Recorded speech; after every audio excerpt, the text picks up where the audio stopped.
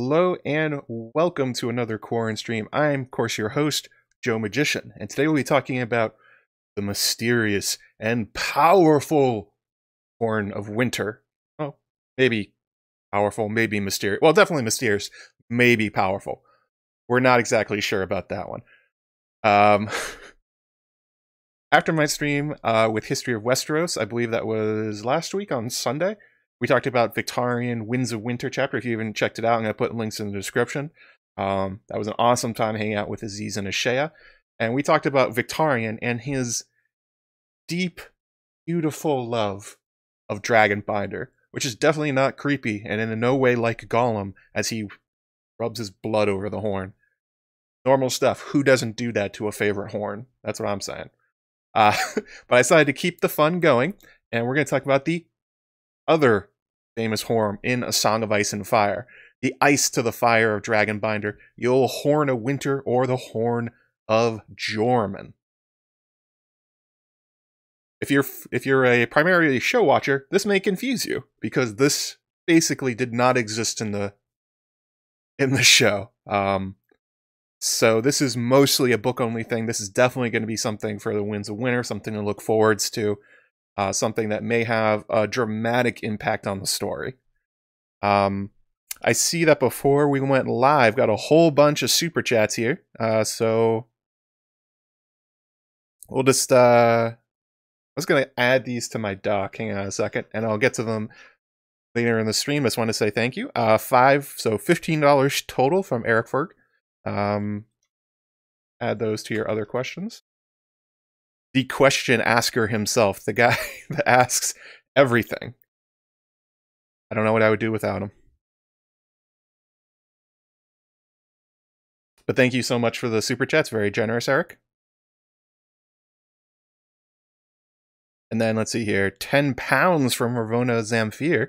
Thank you again, Ramona. Thank you very, very much. $10 from Lemmy B. Hey, thank you, Lemmy. Very generous. Appreciate it and then fifty dollars from Mora Lee.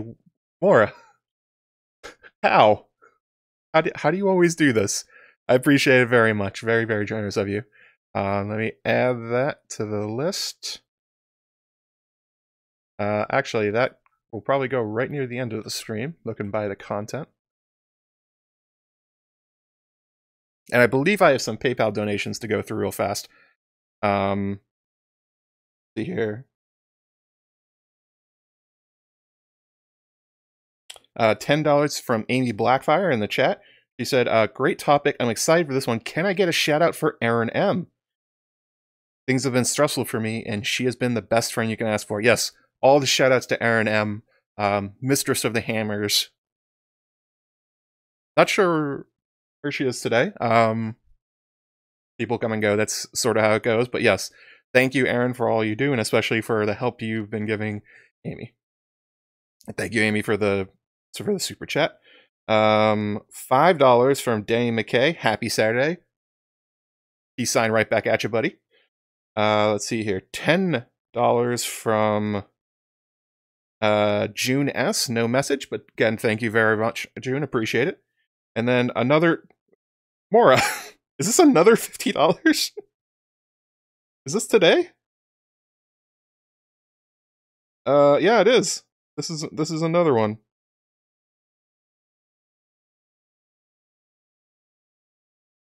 Uh, let me see if I can pull up the message. I don't think this one has a question on it.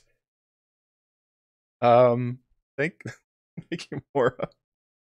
Just on fire today with the donations, and pretty much all the time, from what I understand. Log into my PayPal. Fast. Nobody could see this, right?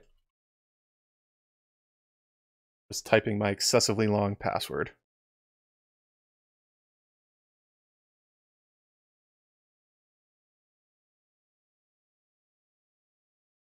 Yeah, making it rain. Always making it rain. Uh, let me check this out. If I don't catch it in time, basically on the app, it cuts off the message, so I can't read it. So I have to try and get it right away and hit the right button. And, it, and if it gets pushed off, then I can't see it. Uh, to Joe Magician, just a gift of love and appreciation for all the excellent content, merch, and extras you provide us on Patreon. You are very loved. Thank you. Hugs from Mora. Oh, that's very sweet, Mora. I really, really appreciate it. Uh, so the PayPal donation is on the top of the thing. I thought I had put it down in the description last week, but I guess I didn't. So it's just pinned there if you want if you want it. Also the Patreon donations. I mean the Patreon uh signups. Actually, I'll do that stuff later. So let's go ahead and uh let's go into the stream itself. Now there's one quote that I find really, really interesting. Uh, there's a lot of quotes about uh, the Horn of Winter Joramun and all these other kind of things. It's a major plot point throughout A Clash of Kings and A Storm of Swords. But there's one person who really, really, really doesn't like the Horn of Winter and thinks it is the worst thing in the world. And that is, of course, Melisandre of Asshai. This is her quote. Um, before she uh, burns what she thinks is the Horn of Winter, she says, the horn of Joramun? No, call it the horn of darkness. If the wall falls, night falls as well, the long night that never ends. It must not happen, will not happen. So George, again, re-emphasizing the stakes from the Horn of Winter that it will supposedly destroy the wall itself. Something she has been made aware of, or she may have been picked up from the wildlings. It's not quite clear. It'd be surprising if Melisandre was shy, knew of the Horn of Winter before coming to the wall. I think it's important to go back. Like I said, this is a the Horn of Winter itself is a very important artifact and plot point throughout the first, throughout a Clash of Kings and a Storm of Swords, all the way into a Dance with Dragons, despite not particularly doing anything, which is not something you kind of expect from something that is chased after and is kind of the key of one of the major plot lines in the story. So the Horn of Winter itself is an artifact that has been teased all the way back in Clash of Kings very, very, very briefly, and then has steadily been increasing in, vil- in visibility and importance in the Jon Snow plotline. It has a similar sort of reveal structure to a lot of the seemingly colliding magical base characters and objects like Dragonbinder, Marwyn the Mage, and Euron Greyjoy. It's one of those things where George does his threefold reveal, where he he drops the name very early on, just kind of drops it in, and then forgets it. You forget it for a couple books, you come back, and then suddenly this thing is showing up in force in the narrative, and it kind of makes you want to go back and reread the things and see exactly what's going on here. Um, Yes, the Horn MacGuffin. the Horn Guffin, that's right, Isabel. that's a good way of saying it. Um, the first mention of the Horn of Winter comes from Jeor Mormont, and it's almost offhandedly. It's not really something that's emphasized. It's not something you read this paragraph and you go like, oh, well, the Horn of Winter and Joramun is the most important part of this. Pay attention right here. This is the most important paragraph. No, not really. It's it's just kind of brushed over. So uh, Jeor Mormont and Jon Snow are discussing the new King Beyond the, the Wall Mance Rayder and what exactly he's trying to do with his army because they are very confused. so let's see here. The uh, the quote goes Oh, so the um, the intro to this is that Jeor is basically thinking about Mance's plan that he's trying to gather everyone beyond the wall, and make one massive assault, destroy the Night's Watch, and get beyond behind the wall, basically. And Jon is essentially reciting his history lessons because he was a good boy that got taught by Maester Luwin about Northern history and different kings beyond the wall and essentially how they fared, which spoiler worked not well. They did not they did not fare well. Wildlings have invaded the realm before. Jon had heard the tales from Old Nan and Maester Luwin both back at Winterfell. Raymond Redbeard led them south in the time of my grandfathers. In the time of my grandfather's grandfather, and before him there was a king named Bael the Bard. Aye, and long before them came the Horn Lord and the brothers and the brother kings Gendel and Gorn in ancient days Joramun, who blew the horn of winter and woke giants from the earth. Each man of them broke his strength on the wall, ours broken by the power Winterfell on the far side. But the Night's Watch is only a shadow of what we were. And who remains to oppose the wildlings besides us? Yeah. The Lord of Winterfell is dead, and his heir has marched his strength south to fight the Lannisters. The wildlings may never have such a chance as this. I knew Mance Rayder, Jon. He was an oathbreaker, yes. But he has eyes to see, and no man has ever dared to name him faint heart. So the example that we're getting here from the Horn of Winter is just buried in a bunch of northern lore. And it's also important that these are being used by, as examples of failures from Kings Beyond the Wall. These are Kings Beyond the Wall that did not do what they were intending to do. Uh, they are all previous warlords that were broken by the Night's Watch, the Wall, or Winterfell itself. And that includes Joramun. Importantly, that Joramun blew his horn according to the to the tale, but it still didn't work. He woke the giants from the earth and he still failed to conquer. Okay. That's not a good sign for the Horn of Winter and Joramun King Beyond the Wall. Kind of setting it up as like um I mean it's it's a cool sounding mythical object, but wasn't enough to defeat them before, so okay, neat story, cool cool sounding horn. And that's kind of all we get from it for the rest of the book. It completely disappears off page. The next mention we get from it is in A Storm of Swords. When Jon Snow meets a literal giant, and he recalls the story of Joramun and his horns waking giants from the earth, and wonders, in a way only Jon can, ah, you silly, silly boy, if that means literally the giant standing in front of him. They're not wearing skins, Jon realized. That's hair. Shaggy pelts covered their bodies, thick below the waist, sparser above. The stink that came off them was choking, but perhaps that was the mammoths. And Joramun blew the horn of winter and woke giants from the earth.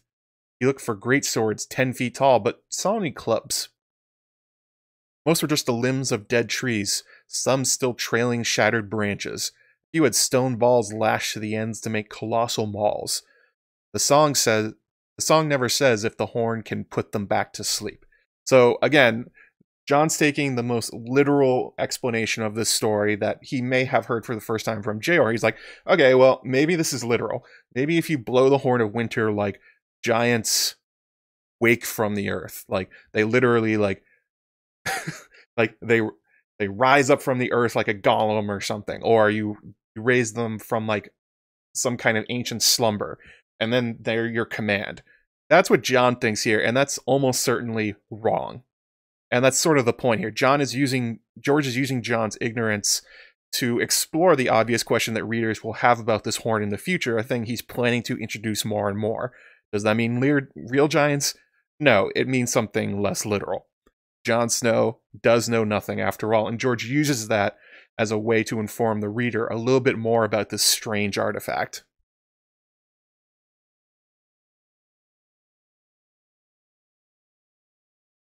Um, so the horn remains kind of a neat factoid for Jon as we're progressing through the Mance Rayder plot. However, there's there's one big mystery that is plaguing the Night's Watch, and that is why exactly has Mance Rayder gone to the Frostfangs? If you don't remember, the Frostfangs are these massive snow-capped mountains and valleys on the west side of the lands beyond the wall, north of the Shadow Tower and the Bay of Ice. Uh, this is incredibly puzzling to Jeor Mormont in particular because there's no good reason to take a massive army all the way up into the Frostfangs. It doesn't give you a tactical advantage for an attack, really. It's a series of mountains that are so unforgiving and brutal that they're basically used as a stronghold for various tribes hiding in the valleys, including the Thenns. It's a defensive position, it's not an offensive one. And that is very troubling to the Night's Watch as they know Mance to be a very intelligent, tactical commander, and yet he's doing something that sounds very stupid. You would never want to take your frost uh, an army into the Frostfangs unless you were running from something.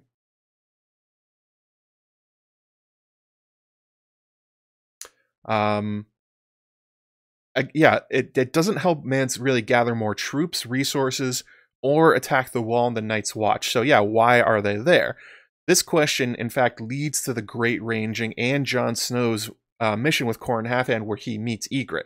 So all of these things are linked to this one question, why is he in the Frostfangs? Uh, the best guesses that we get from the Night's Watch, mostly from Qhorin Halfhand, is that Mance is doing it to hide his numbers from the Rangers, but even that doesn't really make a lot of sense because the only way down from the Frostfangs to attack the Night's Watch is going down by the Milkwater, which is observed by the Fist of the First Men. So Mance isn't really hiding his numbers in any way.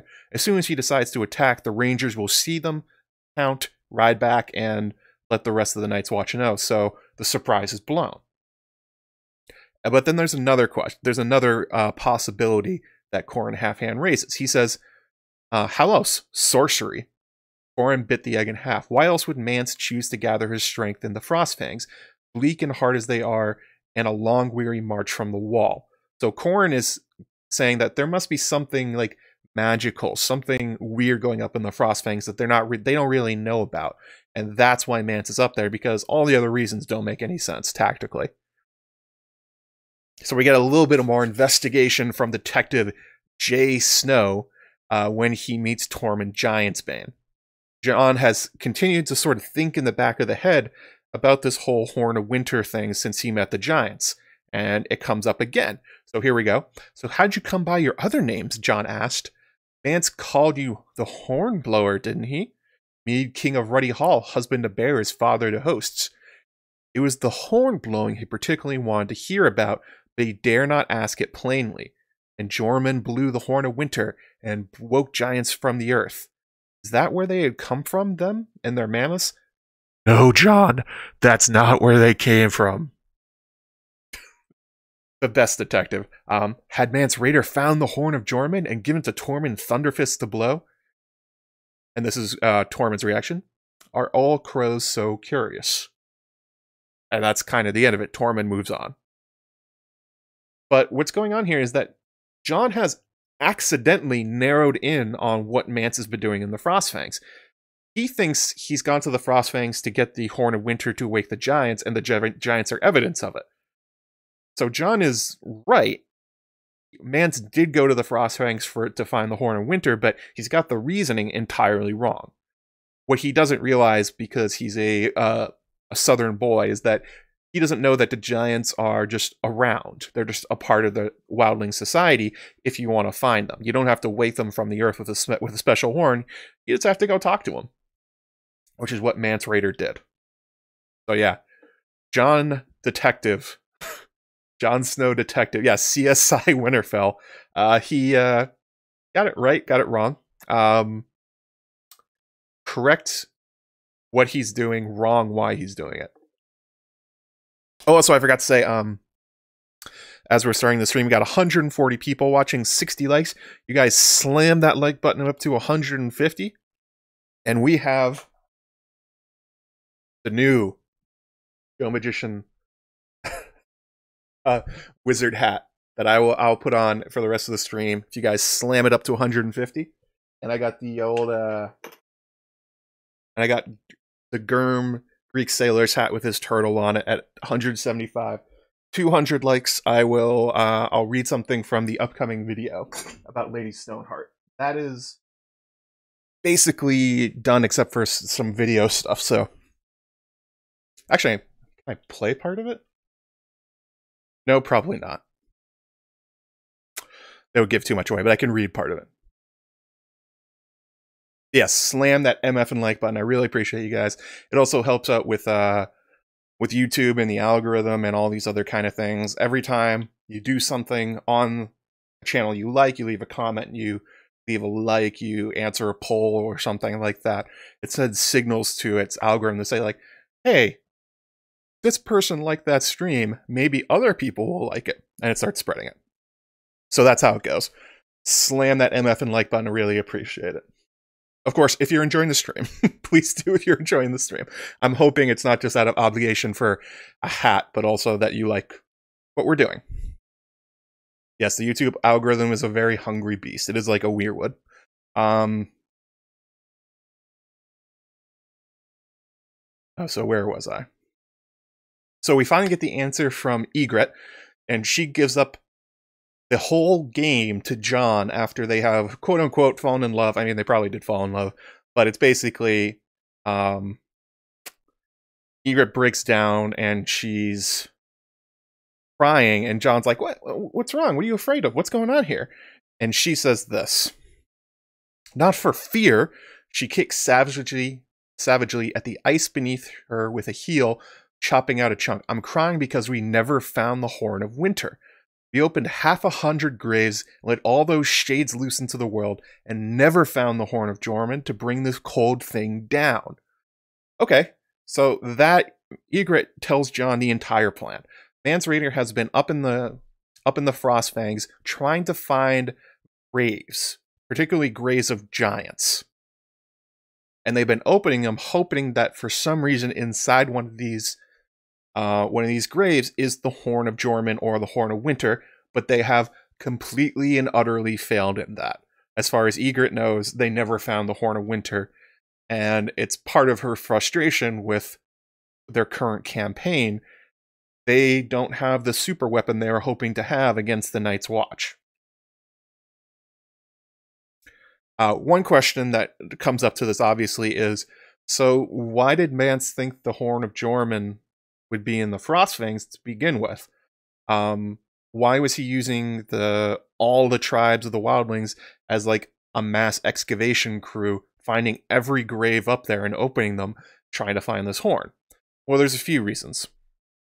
Um, if you take the wake giants from the earth literally, the implication is that there's some connection between the Horn of Winter and giants. So if you know where most of the giants are buried, which is apparently up in the Frostfangs, then perhaps within one of the graves is also the Horn of Winter itself. I mean, it's it's a simple idea, but you don't have a lot to go on. We just have these weird stories. So, okay, I guess that makes sense. A uh, second reason, as a former Night's Watch ranger, that um, Mance would know that the the Night's Watch and those from the rest of Westeros have not gone far into the Frostfangs themselves. So if there's anywhere where a magic artifact may be hiding from the prying eyes of the Rangers, maybe the Frostfangs is a good place to start. There's a lot of weird stuff up there. There's a lot of unknowns. So if you'd also heard that there were graves up there, um, important artifacts are often buried in graves. Kind of makes sense. Okay, I, I, guess that makes a little bit of sense. But then the third reason and this is uh, something that Qhorin Halfhand was talking about, is that there's kind of a a dark magic weirdness going on around the Frostfangs. Um, it's said that those scattered villages in the valleys and around the Frostfangs worship dark, cold gods, and that there's all these weird graves. Kind of gives it uh, basically a spooky vibe and it's known within the Night's Watch and a Qhorin Halfhand that there's something magic and weird up there. So if you're looking for like the most magical object the Wildlings have ever had, maybe that's a good place to go looking. If you want to do a um if you're really into uh, archaeology, I guess. So three good reasons why he's up there. Well, not I'm not even sure they're good reasons. There's just reasons. I um maybe you heard a story from somebody Maybe one of the tribesmen told him that. Who knows? Um. Oh, Mana ASJ. Oh my god, I caught one live. My like finally goes to her hat. Hey, thank you. I'm glad you finally got to uh got to make a stream. Slam that like button. Uh, DW says no hat today. Well, there will be a hat if we get to 150 likes. We got 90 right now, so 60 to go. 150 people watching. Just you know, hit that button and we'll put on that awesome, awesome hat. Um, so what happens afterwards is that uh, Jon eventually escapes and he reports back to the Night's Watch and he talks with Maester Aemon about what he's learned about Mance and the Frostfangs. so this is Jon talking. He says, It means, Lord, Jon agreed. Styr is the Magnar of some place called Thenn in the far north of the Frostfangs. is a hundred of his own men and a score of raiders who know the gift almost as well as we do. Mance never found the horn, though. That's something. The Horn of Winter, that's what he was digging up for along the Milkwater. Maester Aemon paused, washcloth in hand. The Horn of Winter is an ancient legend. Does the king beyond the wall truly believe that such a thing exists? They all do, said Jon. Ygritte said they opened a hundred graves, graves of kings, heroes, all over the valley of the Milkwater, but they never he gets cut off there. And he gets questioned about the like a hey, Jon, um, Ygritte, who's this Ygritte person? And he has to go ahead and explain the fact that, like, oh yeah, I did break my Night's Watch vows like a thousand times, especially in this cave. Oh my god, this in the cave this one time. He's just so proud of all his sex. Way to go, jon Congrats on the sex.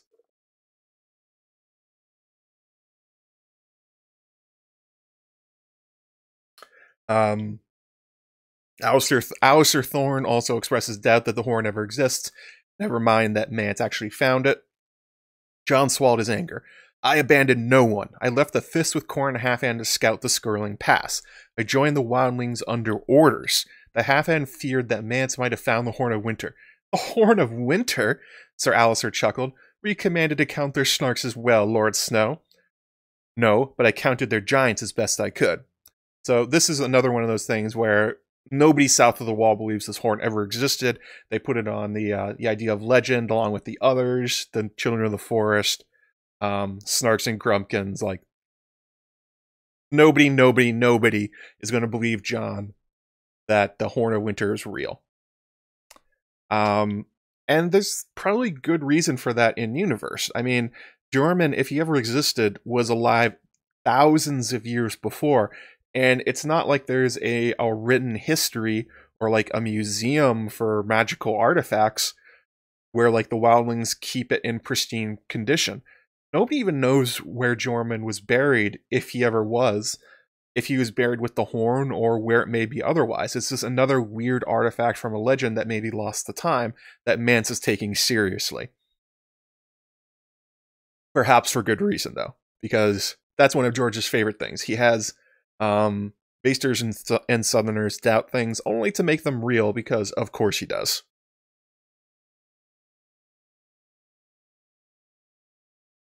Yeah, breaking his oath for good reasons. I didn't say they weren't good reasons. I'm just saying he broke those vows over and over and over again with a lot of passion under underneath some very gross sounding furs. So, way to go, Jay Snow again, congrats on the sex, buddy. You you did it. Um, however, there is a quite a big plot twist. After Jon uh, abandons Ygritte and makes his way back to the Night's Watch, Mance, um, Jon is sent back to Mance in order to negotiate uh, a peace with him, but also may probably to kill him in cold blood underneath Guestright because none of the Night's Watch higher ups, except for basically Aemon, thinks that they all think he's a traitor, basically. So his only chance to live is to kill Mance. So this is the scene itself. It says, "A war horn, a bloody great war horn." Yes, Mance said, "The horn of winter." That Joramun once blew to wake the giants from the earth. The horn was huge, eight feet along the curve and so wide at the mouth he could have he could have put his arm inside up to the elbow. If this came from an aurochs, it was the biggest that ever lived. At first, he thought the the bands around it were bronze. When he moved closer, he realized they were gold. Keep that in mind. Old gold, more brown than yellow, and graven with runes. Ygritte said you never found the horn. Did you think only crows could lie? I liked you well enough for a bastard, but I never trusted you. A man needs to earn my trust. So Mance here is totally sidestepping Ygritte's tearful con- confession to John that they ever that they never found the horn, claiming that this is actually the genuine artifact that he found when he found the actual grave of Joramun. Mance then uh, goes on to basically explain his strategy he's going to use the Horn of Winter as mutually assured destruction. He says it is totally, totally real. You better believe me, guys.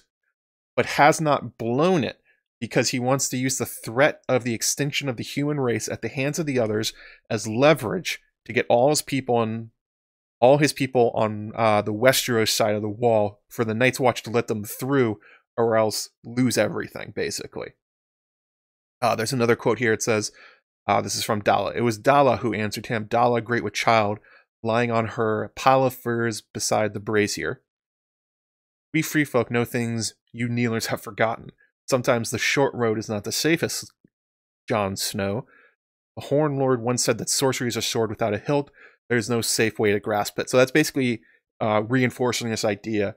They don't want to use this apparently magic horn, but they will um, if you don't let them through. They're just holding the Night's Watch hostage. And it's a pretty reasonable strategy.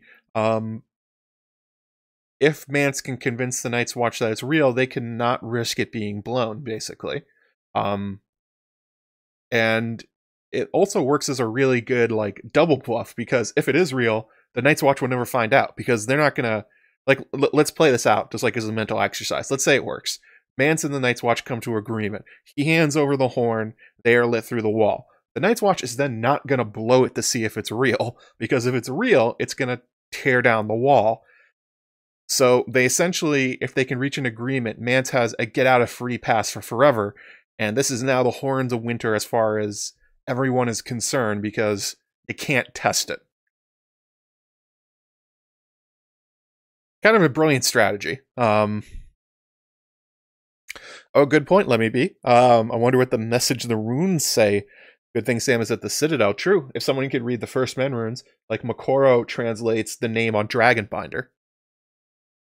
So that is a that is a very real possibility. Unfortunately, Stannis. Just god damn it, Stannis. You ruin everything. Stannis is the It's true, he is the worst. Uh the wildlings are destroyed in the attack by uh, Stannis and his uh, and his troops. Mance and his Great Horn are taken captive, and the strategy of blowing it goes really nowhere. However, there is one very curious thing that probably goes against the idea that it is the real horn. Mance has claimed that Tormund will blow the horn in three days if their demands are not met, and he will destroy the wall. However, as Stannis' troops attack, nobody goes to blow the horn, even as they are being destroyed. So this may suggest that Mance and the rest of his um, leadership are aware this is a fake horn and that blowing it would do nothing, that essentially their bluff has been called. Whoops a daisy. Sucks about that one. Uh, accidentally upended by the uh, by Stannis and Melisandre. So after Stannis is definitely not taking over the Night's Watch, uh, Melisandre wants the ancient artifact burned alongside Mance in the Weirwoods as sort of a show of might for R'hllor, but also from the opening quote, Melisandre fears this horn. She thinks if it's blown, it could take down the wall. So uh, she doesn't exactly follow through on all these things. For instance, it's not really Mance Rayder that gets burned. It's obviously um, Rattle Shirt, but she does actually burn the horn, and we have the quote here. This one's very interesting. So it says, The horn of Joramun burst into flame and went up with a whoosh as swirling tons of green and yellow fire left a crackling all along its length. Jon's Garron shied nervously, and up and down the ranks others fought to still their mounts as well. A moan came from the stockade as the free folk saw their hope of fire. A few began to curse, began to shout and curse, but most lapsed in the silence. For half a heartbeat, the runes graven on the gold blands seemed to shimmer in the air. The queen's men gave a heave and sent the horn tumbling down into the fire pit. So that ends the tale of the Horn of Winter and A Song of Ice and Fire, right? That's it. The horn has been burned. Well, hang on a second. After Mance has been dispatched to Winterfell on his mission as Abel the Bard, Tormund is talking to Jon and he says this. Did she? Tormund slapped his thigh and hooted. I guess he did one of these. A nice, a nice uh, northerner hoot. Hoo! That sounds like Tormund to me. She burned that bit, that fine big horn eye. A bloody sin, I call it. A thousand years old that was. We found it in a giant's grave, and no man had ever seen a horn so big. That must have been why Mance got the notion to tell you it was Joramun's. He wanted you crows to think he had it in his power to blow your bloody wall down about your knees, but we never found the true horn, not for all our digging. If we had, every Neil in the Seven Kingdoms would have chunk of ice to cool his wine all summer. Jon turned in his saddle, frowning, and Joramun blew the horn of winter and woke the giants from the earth. The huge horn, with its bands of old gold and insides with ancient runes, had Mance Rayder lied to him? or was Tormund lying now? If horn, if Mance's horn was just a feint, where's the true horn? George asks the reader. Hey guys, that wasn't the real. That wasn't the real one. So, where do you think it is? Oh, George, you clever, clever man with your love of turtles and your love of mysteries. Ah, good question. So George is again confirming the idea that Mance was just bullshitting the whole time. The horn was act the horn that was burned was surely a big magical looking horn, but not the horn of winter itself. And at this point, I mean, Tormund has very little reason to lie anymore. That um, you know, the the game is over. They took the horn, they burned it. It doesn't matter if it was real or not. Whereas Mance previously had every reason to lie. His entire strategy was that the horn is real. No matter what, he had to convince the Night's Watch that it could do what he said. So, yeah, this was an amazing old horn, but probably not the real one. I was going to check PayPal real fast. Up, we're up to 118 likes, 176 watching. Thank you guys. Thanks for coming out. Um, and finish this section do a little promo stuff, but again, slam that like button. Only 32 away from the new magical hat, which actually looks like the one in the uh in the logo and stuff like that. Oh, uh, five dollars from Joanne Evans. Thank you, Joanne. Very very generous of you.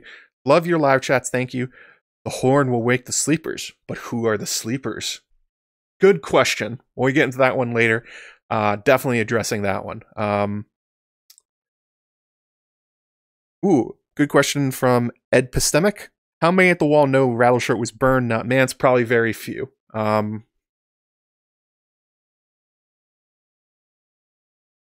Melisandre, mostly Stannis, probably. Um, but it's a very small number that know that Mance is not dead. Uh, so where were we?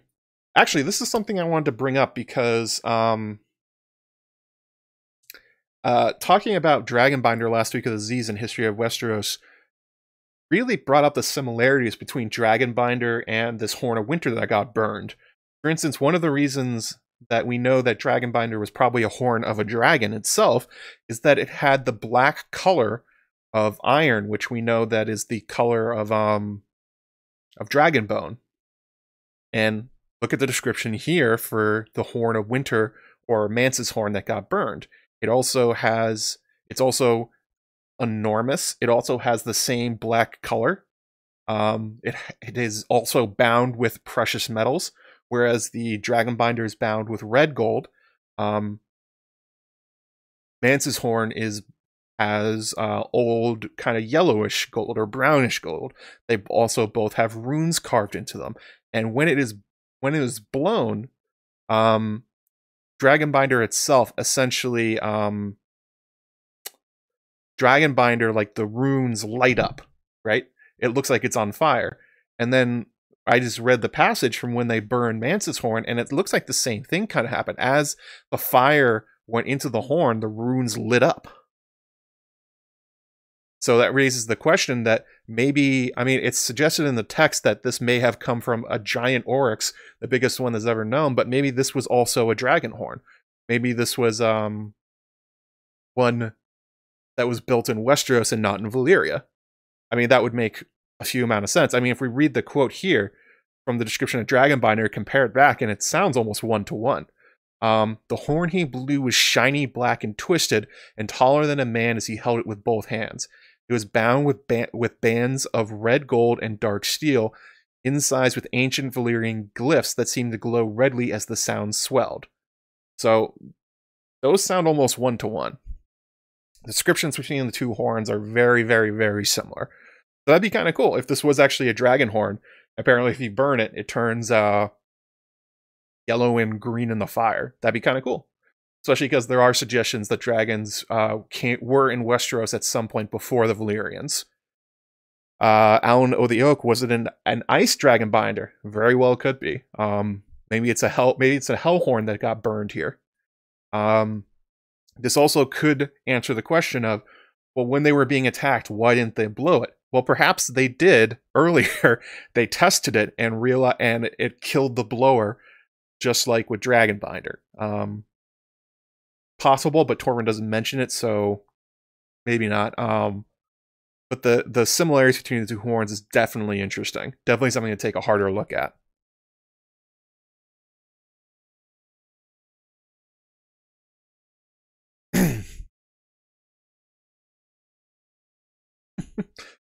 there must be a turtle binder somewhere. Oh my god, George would love his turtle binder. His favorite house, Estermont. The turtles of his youth. Dude loves turtles. Actually, this is one of those funny things if you go back and read um Dream Songs.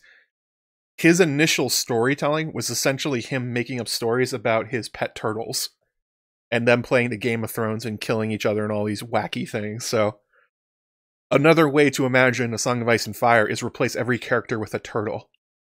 And you may be close to how George imagines it.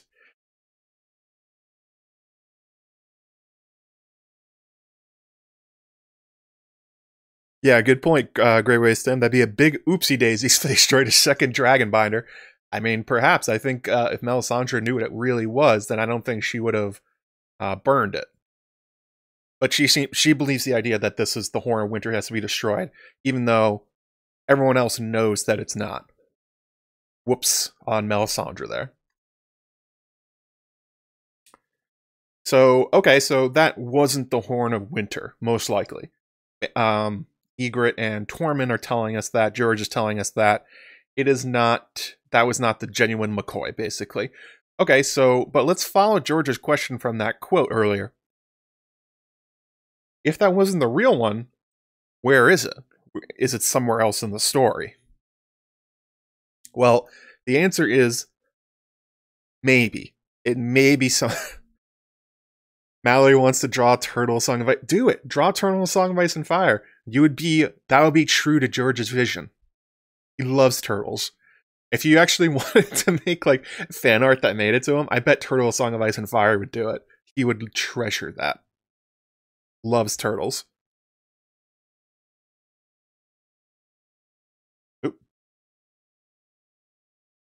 Uh, let me just recheck. PayPal real fast. Okay, nothing there. Oh, so I want to do some uh, promo stuff. We're about halfway through the stream. So, um, again, thank you all for uh, for hanging out, slamming that like button. 150 likes puts on the brand new Joe Magician hat. 175 for the uh, George Turtle hat. 200 likes. I'll read a passage from the upcoming video, which I should have done this week. I got sidetracked by some IRL stuff, so my plan of getting it done last week did not happen, unfortunately. My bad. Sorry about that, guys. Um, unfortunately, IRL stuff does tend to come first. I also wanted to say thank you to the um, patrons that have signed up since the last live stream. Um, so that would be Let's see here. Uh, Maester Zen signed up at the Maester level, and Jen Snow, the queen of the Song of Ice and Fire board, she also signed up at the Maester level. Uh, thank you guys both for that. Um, as I said, the upcoming video is about what is Lady Stoneheart doing in the Winds of Winter other than just killing a bunch of Freys. I mean, killing a bunch of Freys is a lot of fun. Uh, from playing Crusader Kings, it is it is a blast taking vengeance on the Freys.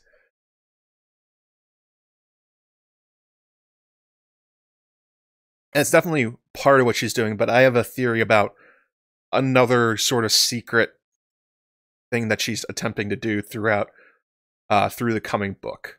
So that should be coming out this week. Uh, I've posted samples on the in the patron Slack and also on Patreon for your um, people who have signed up to take a look at them. Uh, Chrissy of Old Stones, one of the mods of the chat and of many chats, obviously, honestly a mod extraordinaire, uh, provided the voice work for that. She did a fantastic job. I'm really happy with uh, where it's coming out. Um,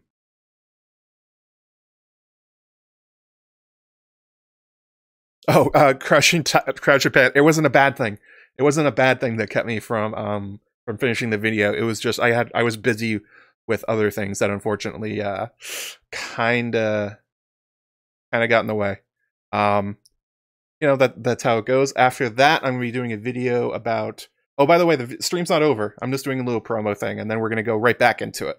Um, so after that, I have a super secret project I'm gonna be working on, and after that, I have to do the promised patron video uh, about Stannis. So that'll be a lot of fun. Um, you can also support me on patreon.com slash Joe Magician. Um, get access to content early, like I was talking about. People have heard parts of the audio. Um, I've gotten hints about what it is, that kind of thing. They'll be seeing it before anybody else. It'll probably be going up as a premiere, that sort of thing. Um, also, subscribe, hit the bell button. Uh, some of you I saw in the chat basically said like, "Oh my god, this is the first time I was able to catch you." If you hit that bell button um, down beneath the video and tell it to send you notifications, YouTube and the app will send you push notifications when I go live or when new content is uploaded. So that's that's a pretty good way to make sure you get that. All right, so uh, also definitely check out the collaboration with History of Westeros I did last week. Um, that was a lot of fun talking about uh, Victarion's chapter in the Winds of Winter. So definitely check that out. All right, so let's do this. Let's go back into. All right, so yeah, th- that's not the Horn of Winter. That was not the Horn of Winter itself. That was another really cool horn that he found, maybe a dragon horn, which would be awesome. But George is saying it's it might be somewhere else in the story. Okay, so let's track this baby down. Let's find that Horn of Winter. the place that most people point to is in A Clash of Kings, Jon 4. And this is truly one of the strangest moments in A Song of Ice and Fire that has still not been explained in any real way and puzzles readers puzzles readers to this day and probably will for years to come. This is uh, at the Fist of the First Men. Ghost comes running up to Jon and essentially starts like almost dragging him out into the woods. Ghost has never acted like this before. It's totally out of character.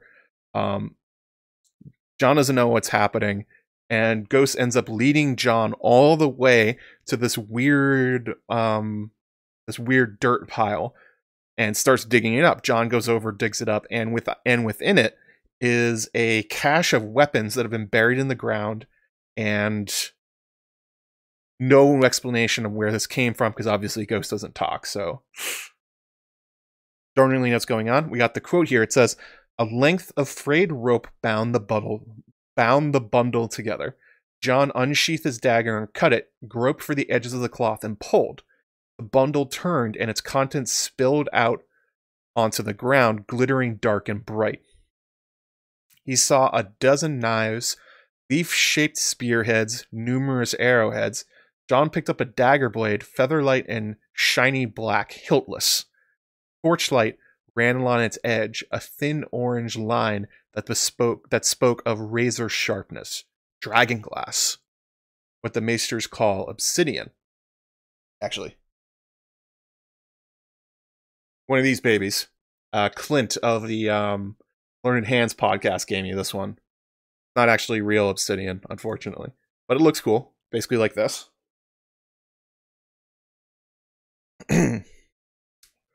um, had Ghost uncovered some ancient cache of the Children of the Forest buried here thousands of years? Fist of the First Men was an old place, only beneath the dragon glass was an old war horn, made from an aurochs horn and banded in bronze. Jon shook the dirt from inside it, and a steam and a stream of arrowheads fell out. He let them fall and pulled up a corner of the cloth the weapons had been wrapped in, rubbing it between his fingers. Good wool, thick, a double weave, damp, but not rotted. It could not have been long in the ground, and it was dark. He seized a handful and pulled it close to the torch. Not dark, black. Even before Jon stood and shook it out, he knew what he had the black cloak of a sworn brother in the Night's Watch.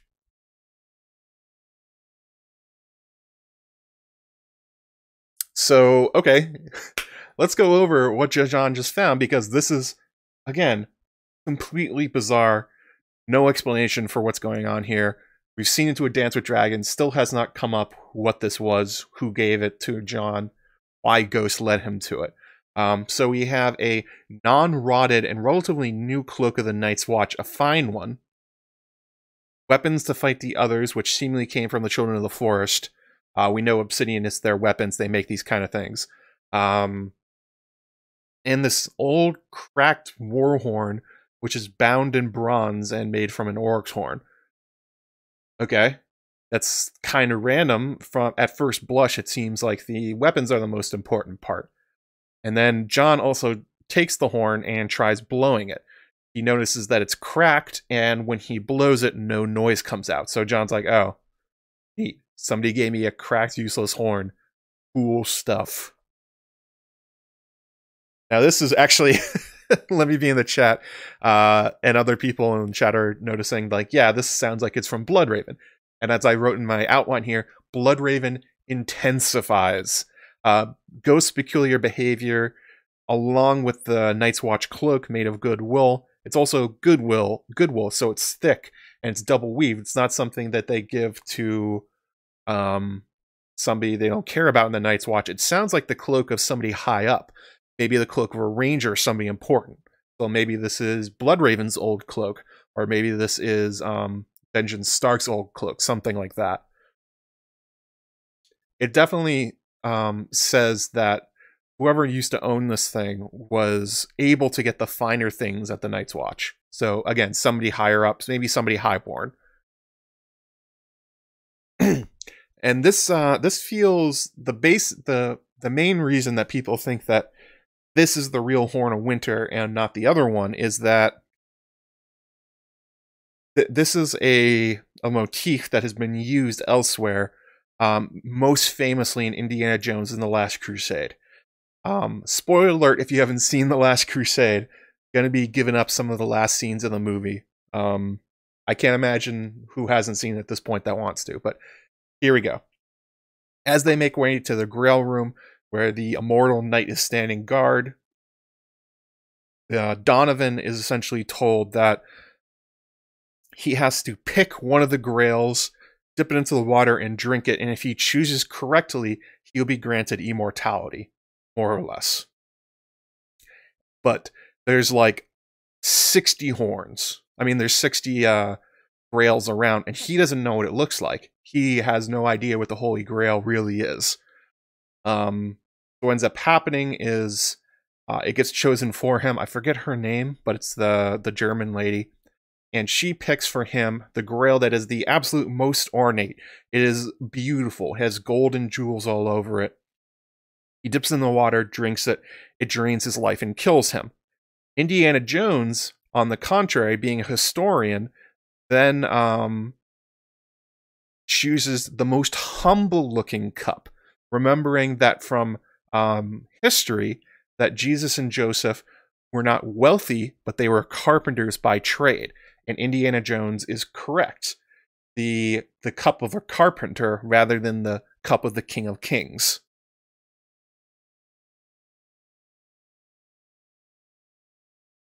So the horn that gets burned and the horn that's being found here feels to many like this is an extremely similar idea that George is uh, referencing. That you have, on one hand, you have the huge, impressive ringed with gold and runes carved into it horn. It's an item that lives up to the hype of what you think a magical, amazing object like the Horn of Winter would look like.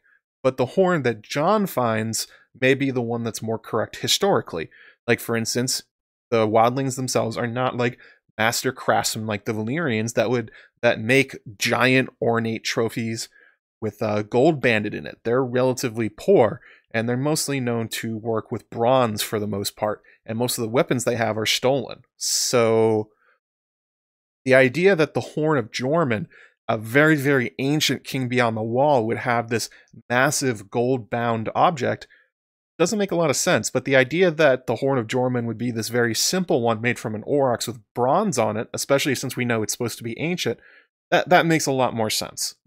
Um, oh yeah, Donovan is also Pycelle. Yeah, that's right.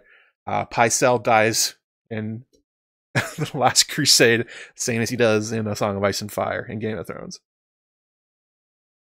So that's the that's usually the main evidence put forward that this horn is actually the real one, that this is the horn of winter.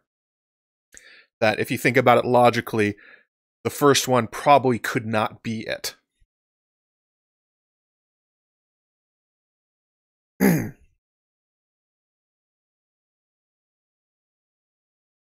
So, what happens to this horn afterwards? Well, Jon, as I said, Jon tries to blow it and nothing happens. It's cracked and he doesn't want to put in the effort to fix it, so he doesn't. What he does is um actually we're only one like away. Somebody out there, slam the like button. I get to put on my new hat. Uh, do you think the horn will be fixed in some way? Fixing the horn's a relatively simple fix. So the fact that it's cracked is weird. Um, it's it's not like it's not super difficult, I don't think, but it might be difficult to fix it so that it um it makes the same noise. But I mean, we're we're gonna get to that later. So this is the quote we have. Oh, there we go. A couple people slammed likes at time. Let me make sure I got it the right way. I got this off Etsy. This thing's huge. It goes like shoulder to shoulder on me and I have I have broad shoulders. If any of you, actually, some of you have met me have met me in real life. I am a tall guy. I have broad shoulders, and this hat goes to goes shoulder to shoulder. Oh, it's actually so tall. It's not gonna fit in the in the, in the shot. oh, hang on. I have to fix this.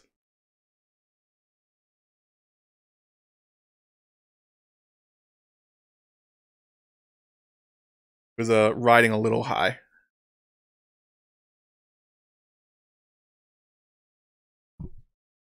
Ah, there we go.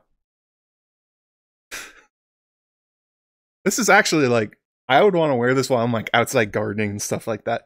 It's very soft. It's got uh it's very much a Gandalf hat. Take a look at this baby. It's wide, it gives you a lot of shade. Like if I didn't if I wouldn't look like a doofus, I would definitely wear this outside. But I am a doofus, so should I do it anyway? a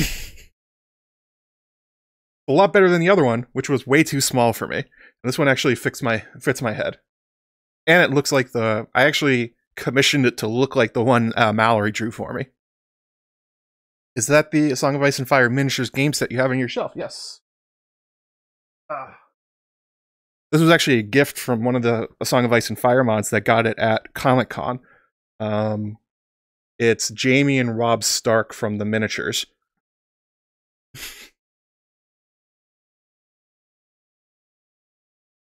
there we go. The only problem is making sure it doesn't get too floppy. Change to a dislike? How dare you, Jasper? I'm just kidding. There we go. Kind of something like um, Gandalf's hat, but more like uh, the Sorting Hat. But it's kind of my own thing. There we go. All right, so here we go. We got the uh, the quote here. It says, "It must have been buried for a reason. He made the dagger for Grenn as well, and another for the Lord Commander. The war horn he had given to Sam. On closer examination, the horn had proved cracked. Even after he cleaned all the dirt out, Jon had been able to get any sound from it. So Jon immediately picked this thing up, cleaned it off, and tried to give it the old toot toot. Didn't work. No sound came out. Um, the rim was chipped as well, but Sam liked old things, and even worthless old things. So, clever George, he's calling this horn worthless, when it may be the real thing. Actually, one thing that's bothering me is that, like, it's hitting off the top of my chair. Okay. Somebody actually, I don't. Here's the funny thing about just liking videos: it doesn't do anything. YouTube doesn't uh, doesn't stop recommending it because it gets disliked. You know, that's how it goes. It just wants interaction. Um, make a drinking horn out of it. He, Jon told him. Every time you take a drink, you remember how you ranged beyond the wall, all the way to the fist of the first men. He gave Sam a spearhead and a dozen arrowheads as well, and passed the rest out among his friends for luck. So that's essentially what happened to the horn. Jon gave it to Sam because he's a nerd and he likes weird old things, which is true. I would also probably take that from Jon. Sounds cool. Actually, I do have one. I have a. Uh, this is a gift from my cousin for his wedding. So I actually have a, a drinking horn. Not exactly the same thing, but um. Oh, good one, Jess. Jon will put his lips on anything he finds beyond a wall. He's a very orally fixated guy. What can you say? Um. yeah, Jon. Jon calls it worthless, and he knows nothing. Um.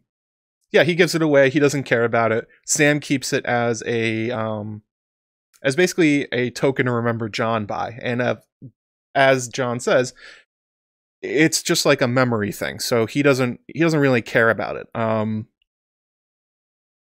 the we hear about it next when Jon is on, where uh, Sam's on his way to Old Town. The quote goes, "By the time the dealing was done, Sam was down to his boots and blacks and small clothes, and the broken horn Jon Snow had found on the Fist of the First Men." Um, essentially, what happened at the end of the Cinnamon Wind is Sam had to essentially pay for his passage, so he pawned basically everything he had to the captain. And the one thing they didn't want was the stupid old broken horn that didn't make any sound.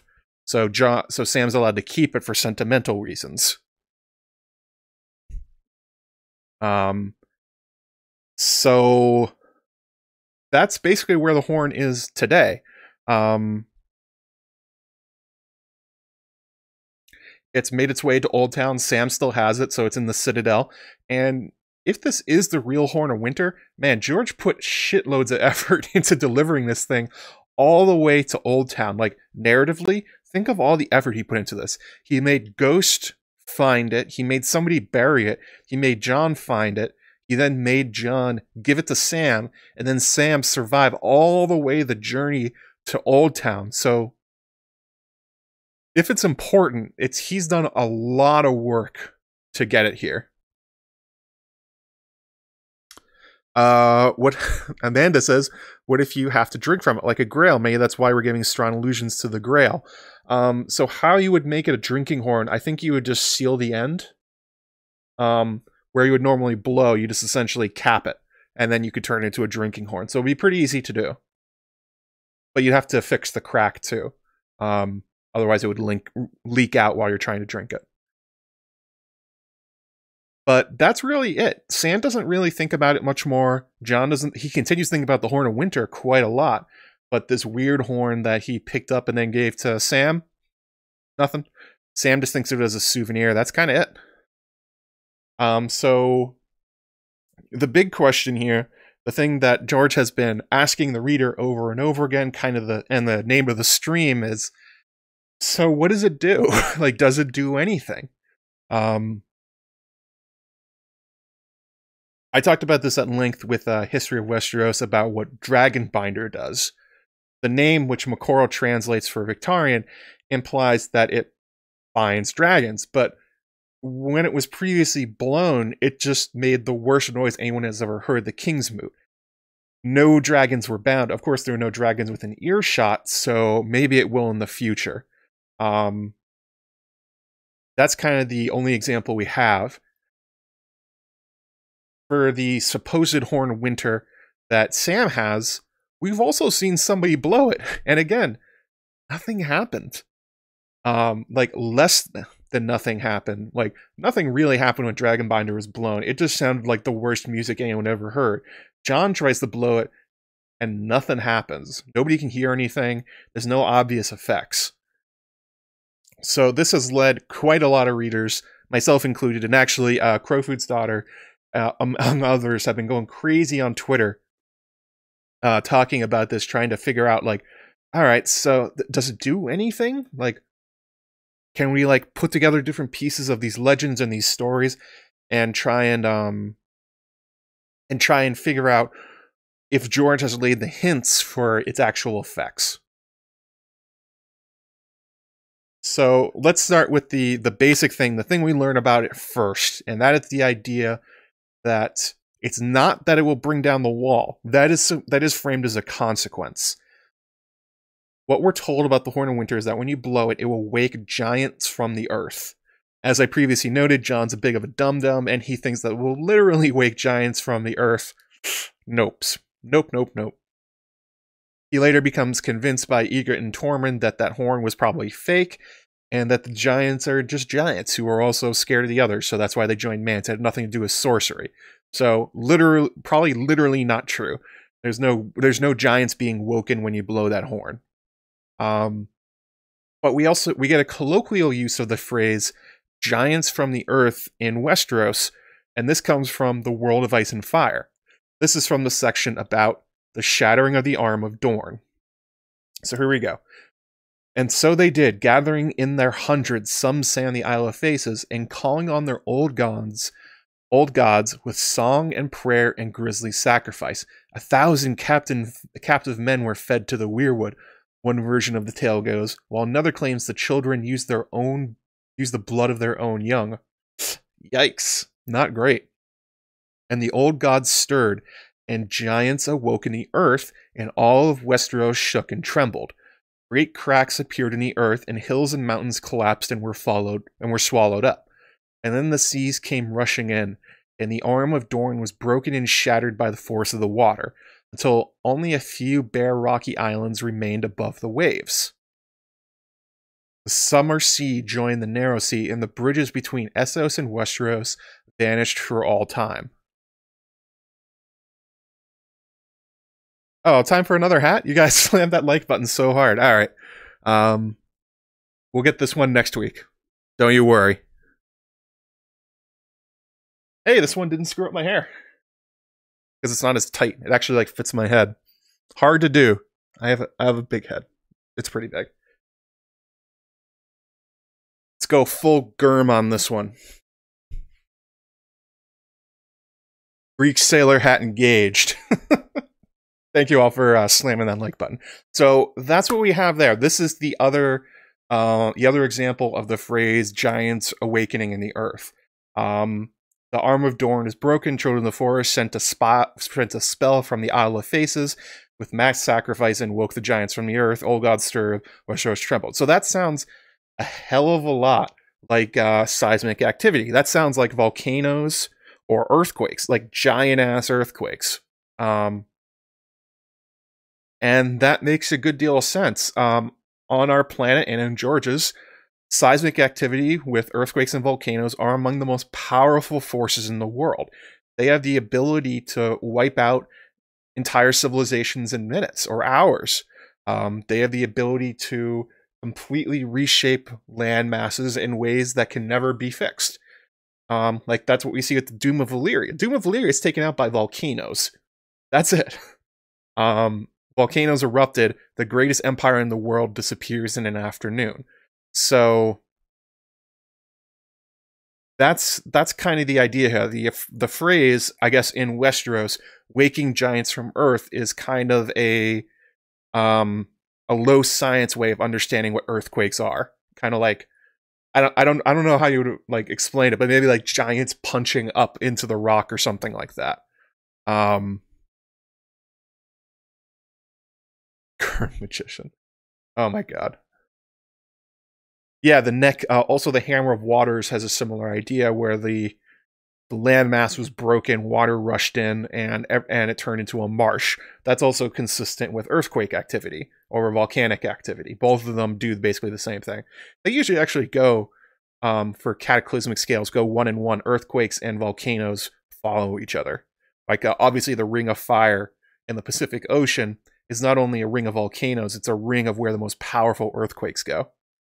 Um, oh, uh, super chat here from Anders Graham, uh, 50 DKK. Do you think that the do you think this means that the children made the horn? I was going to get to that, but it seems conspicuous that we have this one story of the children of the forest that did the same thing, and then we have the horn that has the same power, or it's rumored to have the same power.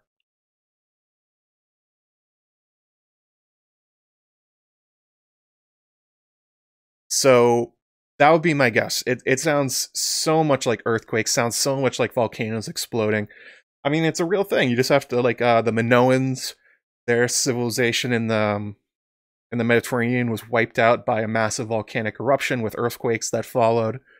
Um, yeah, fault lines.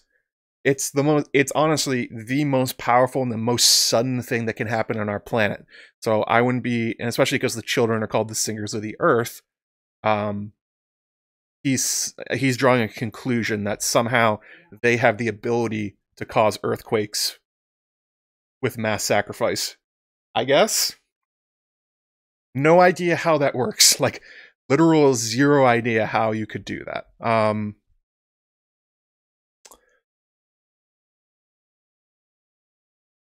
But so that may tell us that the power of the Horn of Winter is that it creates earthquakes.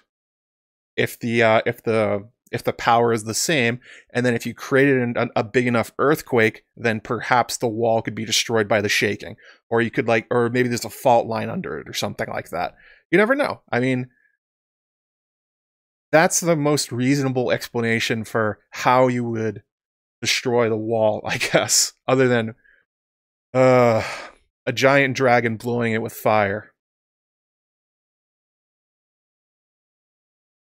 That thing that happened. Um, oh, you've never experienced earthquakes, Adam Warlock? I grew up in partially in California, and there were earthquakes all the time. It is terrifying. It's completely out of control, and especially if you grew up in a place where you've never experienced one before, and you go to a place with lots of uh, earthquakes, it scares the absolute shit out of you the first time it happens. Um, they are they are really scary, especially because they come out of nowhere and you have no idea because of the way they work. Um, there's a thing called aftershocks and pre-shocks where one earthquake can set off others. Um, it's uh, it's not good. it's very scary to go through. I remember the first one. I moved from the East Coast to the West Coast as a child, and the first earthquake that hit, I was like, "What the? What the fuck's happening? What is this?" So that's that's kind of what it can be like. I can imagine that's maybe what George was playing on here, um, especially it, it's a thing that sort of gets a fascination from people that have never experienced before. Like somebody that's never seen snow and goes to see snow is like, oh my god, this is amazing. So maybe the same kind of thing is happening. Um, a giant dragon blowing a magic percussive fire. Sure, maybe the maybe uh, dragons underneath volcanoes blowing. That's kind of thing. Um, so perhaps that's the power of the Horn of Winter. You blow it and it creates a massive earthquake wherever you want. Um, which, as suggested by the uh, super chat, perhaps this means that the Horn of Winter is an artifact that was created with the power or the um, the help of the Children of the Forest. That, or maybe this is the thing that caused the Hammers of Waters and the shattering of the arm of Dorne, that this is like the literal horn that caused those things. And the name Horn of Winter is just the current name for it, and that it's been used many times before.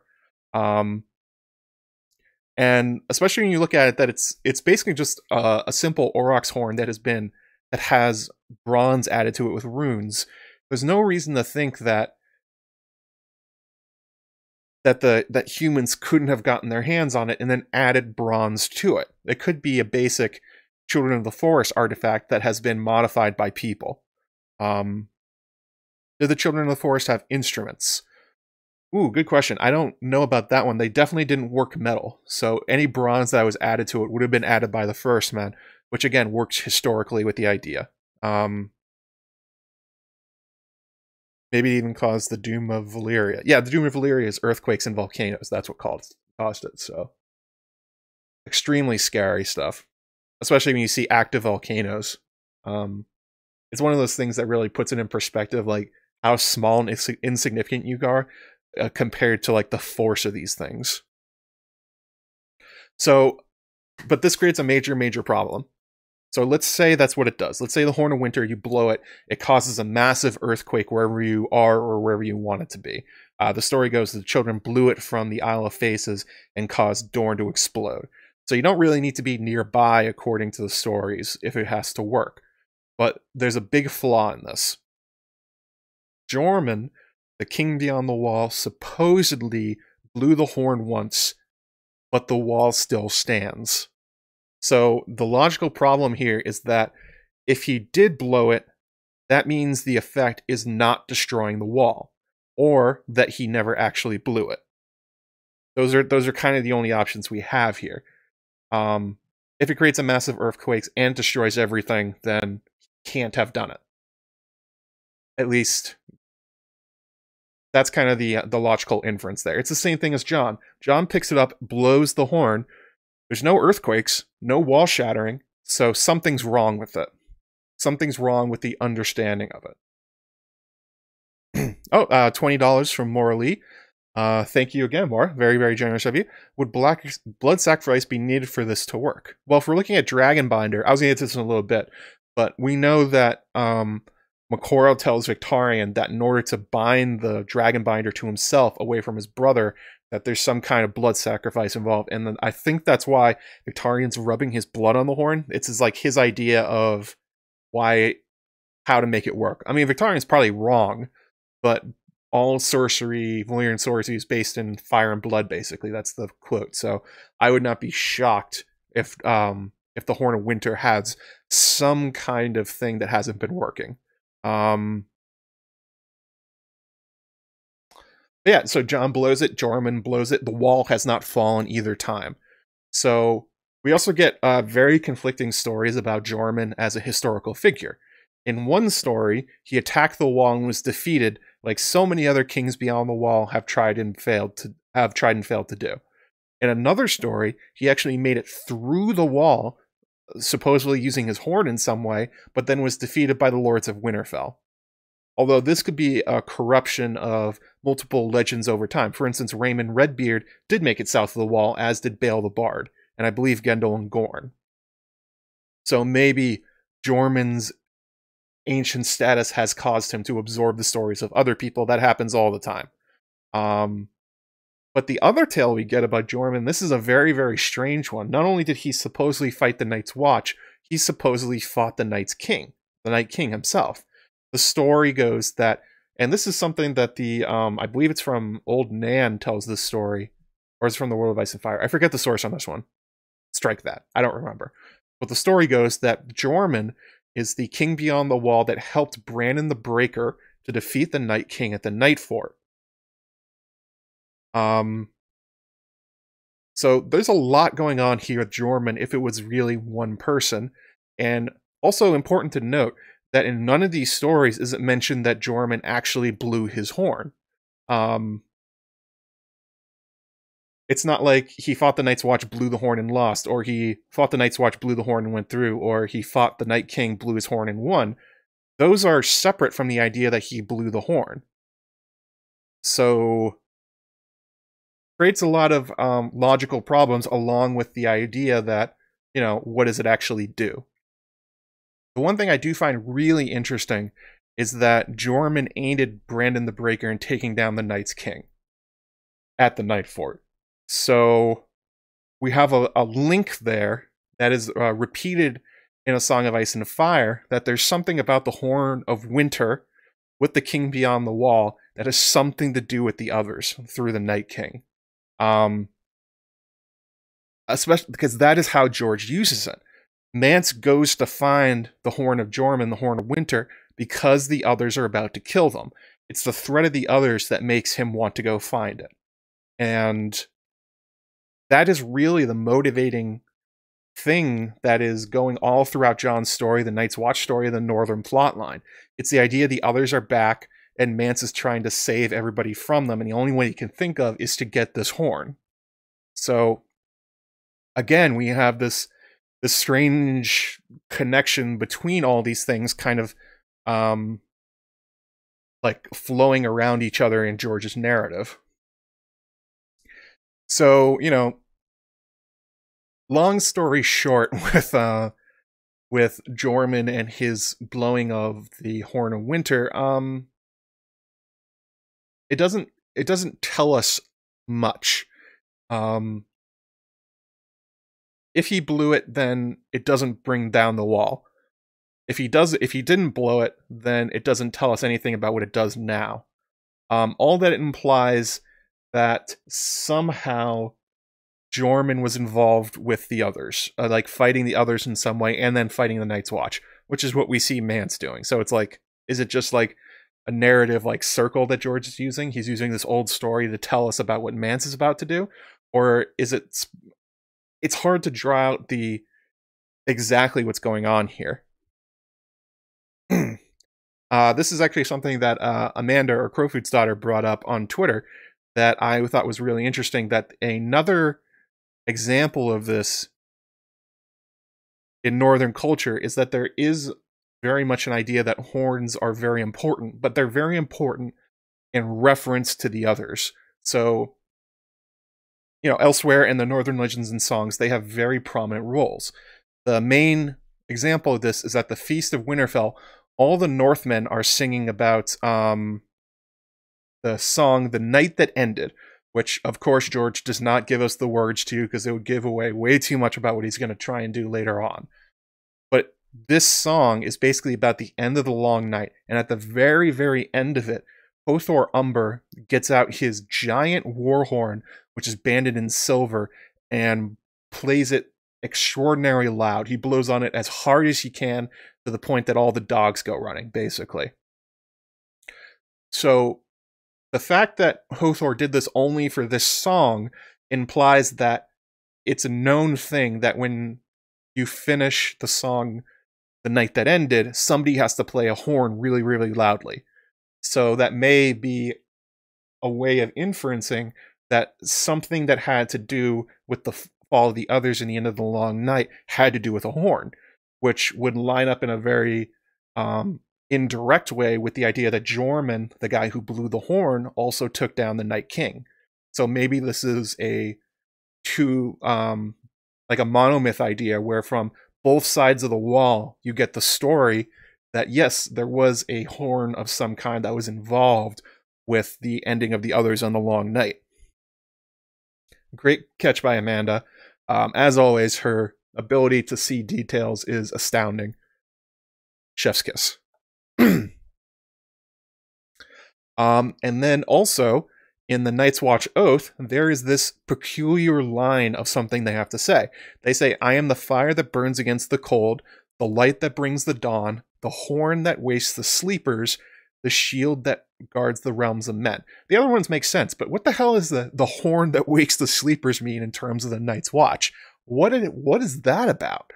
Like, the light that brings the dawn. Yes, they fought um, the war of the dawn against the others. I am the fire that burns against the cold. The cold is the others. I am the shield that guards the realm of men. Yeah, they're a military force that protects against the return of the others. But a horn that wakes the sleepers? What? What? What is that about? Um, if you want to talk about it like super figuratively, you could say that like maybe the sleepers are like the rest of Westeros, and they're the only ones that are awake but I mean, like, that doesn't make a lot of sense. Um, but it does sound a little bit like the idea of the Horn of Winter, which uh, wakes the giants from the earth. There's an idea that there are some, there's something asleep that when you blow a horn, it comes awake. Um, yeah, this could also be like rousing men to action, but it's like it doesn't really fit with the others. Um, it's it's a it's it's a weird line. So like there's a lot of ideas obviously around the the Night's Watch and fighting on the others that has to do with necromancy and the literal undead. So could that mean that could that have something to do does that link in some way with the idea of waking the giants? It seems to infer in the same way that the the um the song the um what is it what is it called? The night that ended also features some kind of horn that has to do with the end of the long night. Okay. Kind of makes sense. Um waking the dead. Yeah that could be another explanation other than um raising the alarm which yeah i, I guess so. It that does fit too. Good point. You got me. But also this this one you can't ignore the fact that necromancy and that the idea of sleepers is another way that people talk about the dead. Um so that could be like a double or triple meaning to that one. So perhaps I don't know. Um, like for instance, when you say waking giants from the earth, if you try to think about that literally, what does that mean? What does it mean to wake giants from earth? Well, does that mean like they're in like caves or something? Does that mean they're like underground? Are you like bringing back giants from graves? Because like if you said you were waking somebody from the earth, that sounds like they're buried, which sounds like the undead. Um, you know the the others obviously control the undead, so yeah, it's it's it's a strange one. There's a there's a lot of weirdness around horns and the others that is which is kind of a, a running theme when you go from Joramun to the night that ended and this night's watch this night's watch part of their oath. Like they don't have to be literal, but they could just hint at a larger idea between them. So this kind of gets us down to the the big question beyond what does it do? Um, and these are kind of linked. Why do you, why was this given to Jon Snow? Okay, like if this is the real Horn of Winter, if this is the real McCoy, why was this put into this weird gift package and given to Jon instead of anybody else? So, um, the general idea is that it was probably Bloodraven that did it. Um, especially because of Ghost's weird behavior. He may have been warging Ghost, and that's how he brought him to it. But this is one thing that um, comes up when you discuss about the Horn of Winter itself, and that it's in Sam hand, Sam's hands now. It was not given to Sam. If Bloodraven wanted to give this package to Samwell Tarly, he could have done it later. Because Cold Hands, who is a servant of Bloodraven, finds Sam and brings him south of the wall. So this this is a thing that could have been um accomplished later and it's only days apart. So for some reason this and it wasn't like Ghost ran up to Sam to go get him, it ran up to Jon. So Bloodraven wants Jon to have this thing, which John then promptly gives away because Jon Snow knows nothing. Um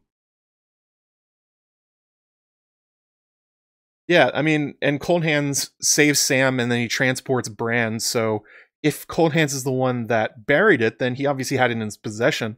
He could have given it away to Sam when he brought him south of the wall. Um, it's it's a weird convoluted sequence of events if it's meant to be in Sam's hand the whole time. If he's meant to take it from Jon then and go to Oldtown. Um, I would guess that that's like a mistake or something that Jon messed it up in somehow because Jon immediately does. Also, there's the idea that if this horn is meant to do something, Jon picks it up and blows it like literally the second he can. Um, so if this horn of winter is so important and it has to be given to Jon Snow in particular, why is it broken? Or why didn't you also give him instructions on how it's supposed to work? Because Jon picks it up, he cleans off the dirt, it's a cracked horn, and he, he tries blowing it, nothing happens. Um, and there's there's no explanation on what he's doing wrong. So that's that's a big flaw in whatever plan this is. Um, or, um, so yeah, that that's kind of a tough one. Why give Jon a broken horn that doesn't work? Um, but it's also the fact that you're giving it to Jon with the implication that it's going to be useful somehow. Everything else in that package is a useful um, thing for the Night's Watch against the others and the oncoming war. Like there's arrowheads, there's daggers, there's spear tips. Like those are all super useful. The horn should be useful too, then, right?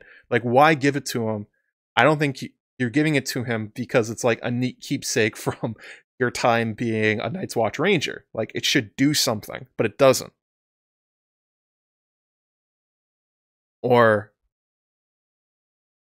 this is actually something Amanda and I were talking about on Twitter. Um,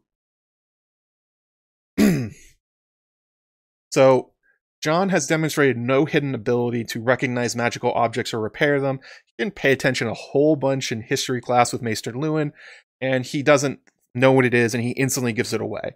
So the idea is that if you're giving it to Jon, you have to understand that he's not going to do anything with it. Like, uh, I mean, he's not going to fix it. He's not going to know what it is because you're not telling him. Which implies that maybe the horn does work.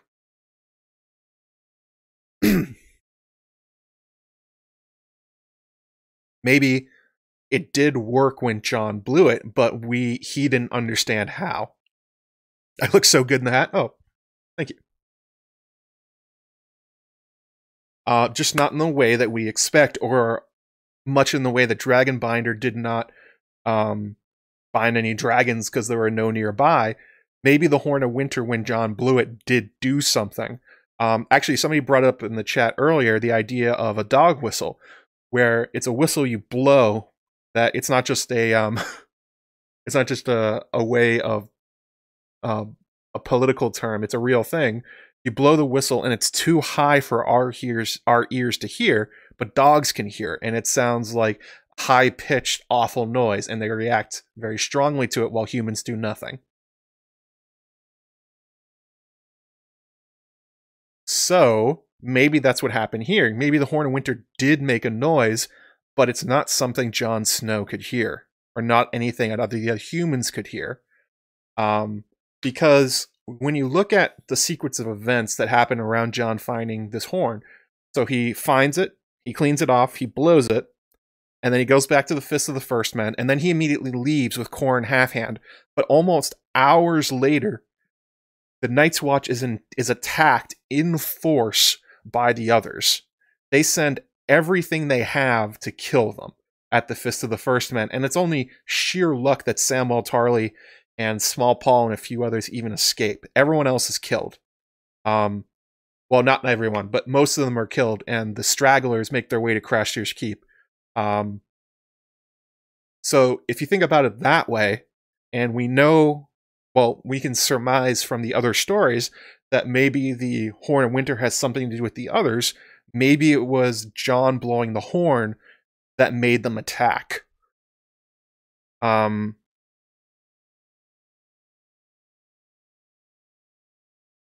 the sequence of events is very, very strange. Um, so let's think about it that way. Instead of going at it from the idea of the myths and legends about what it can do, look at the sequence of events. So Jon blows it, the others attack. They think he's there. He's not. He's left with Qhorin Halfhand. So does that mean that the horn is somehow a threat to them? Like, does it do something to them that they really, really, really don't want to happen. Um, especially with the linking of Joramun defeating the Night King with Brandon the Breaker and his blowing his horn. Maybe some, maybe it did something to the Night King in order to um, make his defeat happen. That would be kind of an interesting way of weaving together these different stories. Um, so my idea, this is very, very tinfoil, I mean, all of it's tinfoil because we don't really know. John is telling us that it doesn't. I mean, George is telling us that the effects are unknown, and if it gets blown, it who knows what it does. Maybe earthquakes. Earthquakes is probably the most. Um, I think it the earthquakes is the most reasonable explanation, but it doesn't really doesn't really work with the other ones. So my suggestion is that the idea of the waking the giants from the earth and waking the sleepers and the connection of the Night King with the horn and also the attack that the others immediately throw at the fist of the first man when Jon blows it is that it in some way much like Dragonbinder dra- binds dragons maybe the horn of winter is a thing that um either binds the others or it hurts their magic somehow. Um like for instance if you take it literally and you say um you know it wakes the sleepers well, what if you blow the horn and it causes like um all the undead creatures around you to instantly fall apart? Like maybe the spell is broken and their armies are gone. Or what if you blow it and the others have to obey you? Um that's a that would be fairly interesting and explain why they've been they apparently have been watching and waiting for the Night's Watch at the Fist of the First Men for a while. It's not until after the horn is blown that they even attack. If they realize the Night's Watch had this thing, that it makes total sense if it's a threat to them that they have to get rid of it. And it would also make sense why you give it to Jon.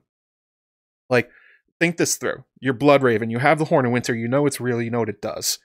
If it actually brings down the wall, destroy it. Like, don't don't give it to anybody, just break it. Because you don't want the wall to come down. But if it's a weapon, if it's a thing that can be used against the others, then there's a real purpose in getting it into the hands of the Night's Watch and Jon Snow.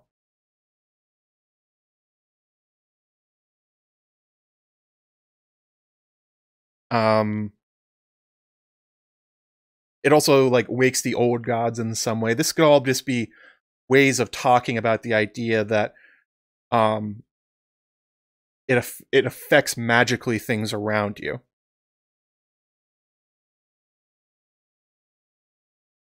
Also, the another idea for it is that maybe it wakes the dead, or it instead of making all the dead fall apart, maybe it binds all the undead to you, much in the same way that Dragonbinder maybe drags binds dragons to you.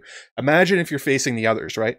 And they're sending their horde of the undead at you, and you blow the horn of winter, and all their soldiers now obey you instead of them. They would hate that, and that's a very useful weapon. Um, especially when you look at other artifacts, magical artifacts, artifacts we see within the Song of Ice and Fire. Um, like glass candles are basically artificial green sight. That's what it is. That's all it's doing. Dragon Binder seems to be artificial dragon bond. Like if that's if the name and the suggestions are true, that's what it does. It'd be super interesting if that's kind of what the Horn of Winter was. It's an artificial way of duplicating the other's power or negating it in some way. Otherwise, I, I don't really understand what the point is of Bloodraven giving it to Jon, who then gives it to Sam and then brings it to Oldtown because why would Bloodraven want the wall to come down? You know?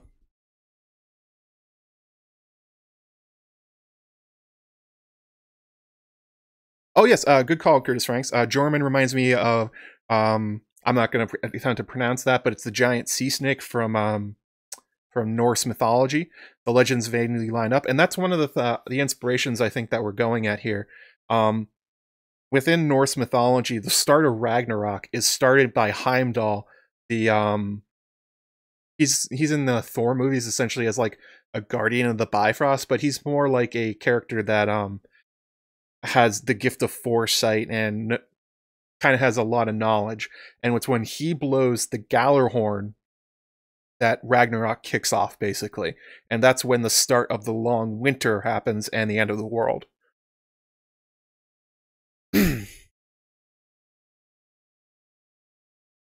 so, the idea that George may be doing a take on the Gjallarhorn with the with the Horn of Winter would kind of make some sense, but also like for what it actually does, I don't know.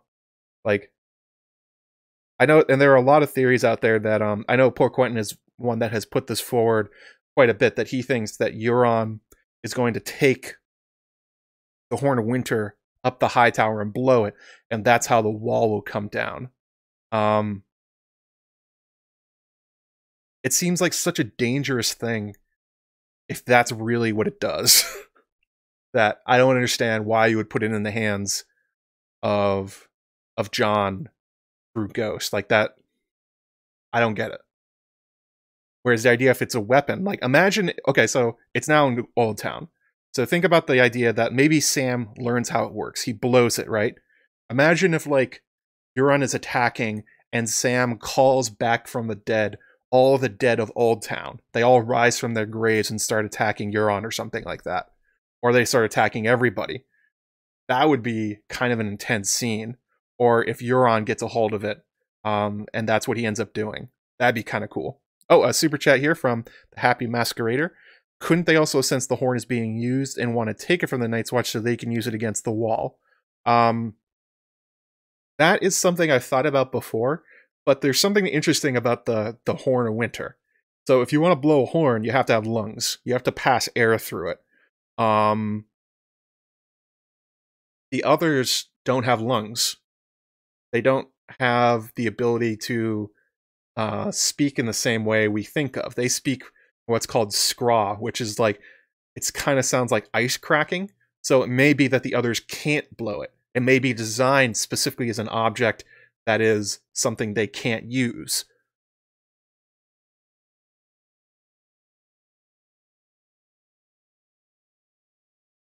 Uh, Joanne Evans, five dollars. Oh, thank you for the super chat, by the way. Uh, thank you for the five dollars. The Stark Dead. So that's another one. Um, if it calls back the dead, it could definitely be used on the Crypts of Winterfell in some kind of um, some kind of future scenario where Sam ends up back in the north, I guess, and at Winterfell and decides to blow it for some reason. Um, yeah, I'm not. I'm not really sure, but I I definitely like the idea that it's something the others don't want to blow. That it's like a weapon against them. Because that kind of makes the most sense for why you get it out. Why you get it you get it far away from the others as far as you can, especially if Bloodraven knows that his time is limited. If he knows that the that hold the door is coming and that he's going to die soon or something like that, then getting it far away from them kind of makes some sense. Um,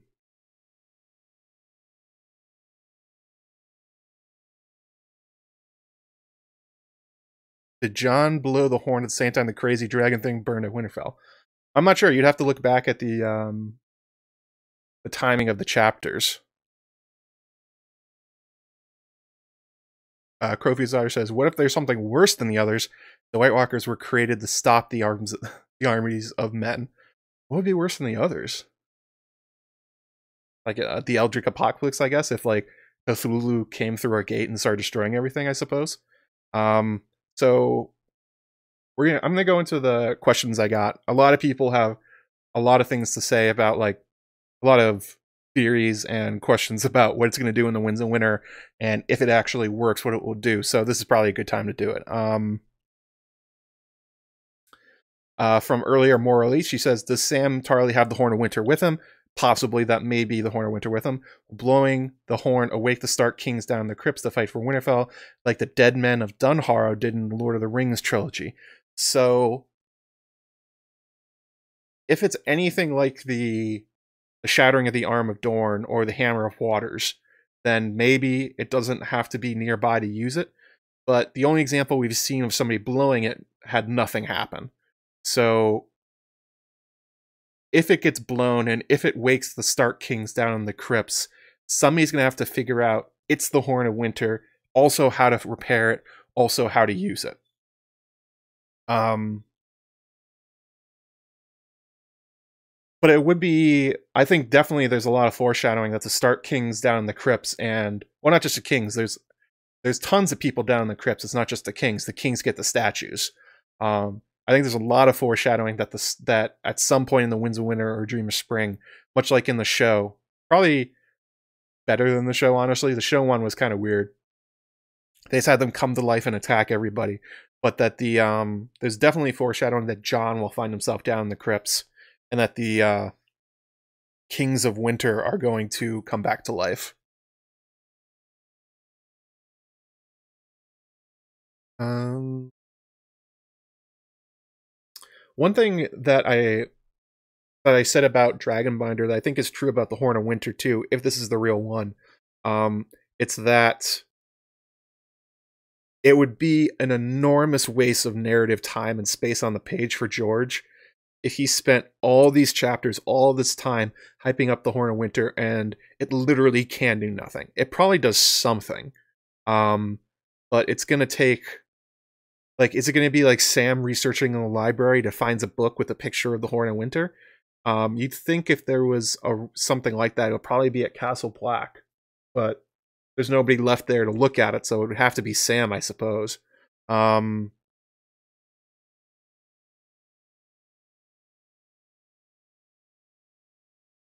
so that could be. It should do something, much like Dragonbinder. It would be such a big fake out to spend four books hyping this thing up to have it do nothing. Um, so let's see here.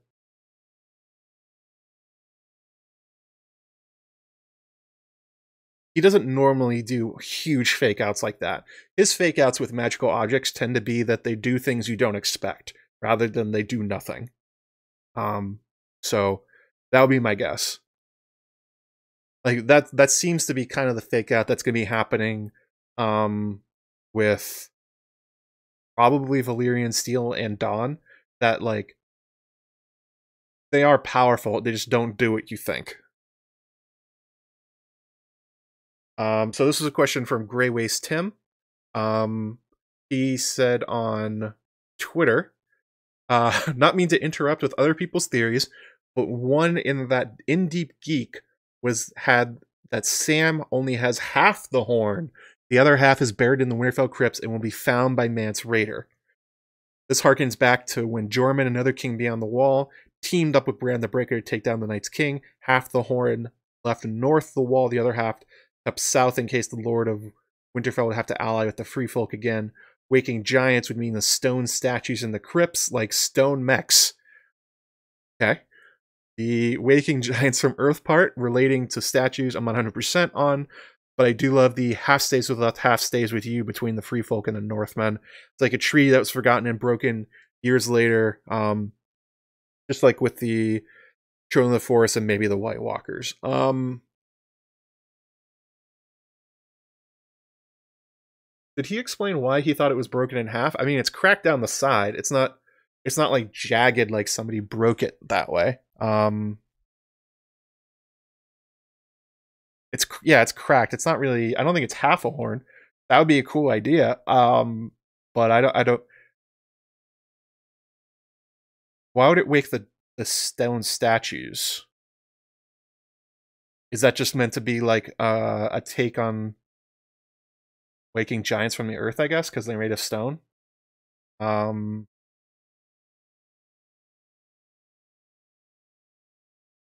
hmm. I'm not sure about that one. uh, it sounds it sounds like it would be a cool plot. I just don't know wh- what that's based on. Like, I don't think there's any story that Bran the Breaker and Joramun split anything. And in fact, it seems like after they fought the Night's King, Joramun came back and fought against the Lords of Winterfell again. So it doesn't really seem like um, there's much cooperation between them afterwards. That if there was a relationship, it, shout, it uh, shattered. Um, could be misremembering everything Robert said. Well, that'll happen. There's a lot of long streams and videos and that kind of stuff. Um, Lady Rosalie Valarian, why put their faith in Jon so early? So this is something that um, Amanda and uh, a few other people in the thread were talking about. If this is Bloodraven, if Bloodraven has the Horn of Winter, he puts it in Jon's hands. One thing you can't discount is his ability to see into the future, kind of like a Heimdall figure, where if he gave it to Jon, you'd have to assume it was for some reason. Like it's almost for certain that Bloodraven knows that Jon is the child of Rhaegar and Lyanna and that he may be some kind of child of destiny sort of figure. So it may have been the intention to put the horn in his hands for some future event. But one thing that I always want to stress about Bloodraven and the way that he interacts with time and like future is that um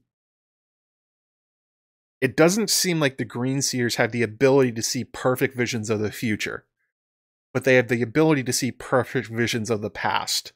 So it could be that Bloodraven is aware of who jon is and put the horn in his hands, thinking that he'll need it in the future, not realizing that Jon wouldn't recognize it at all and essentially give it away. It'd be kind of like a very Bloodraven move to try and set something like that like that up and have it be have it blow up in his face.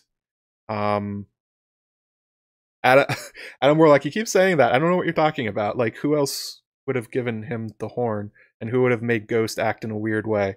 I mean, there is evidence, you just you just don't think it's true. Cool. Um Amanda says, well, Euron does seem to be the third active villain. He's setting up something big and horrible with Euron in mind, definitely. Um, the idea that Horn is going to be around Euron is super interesting.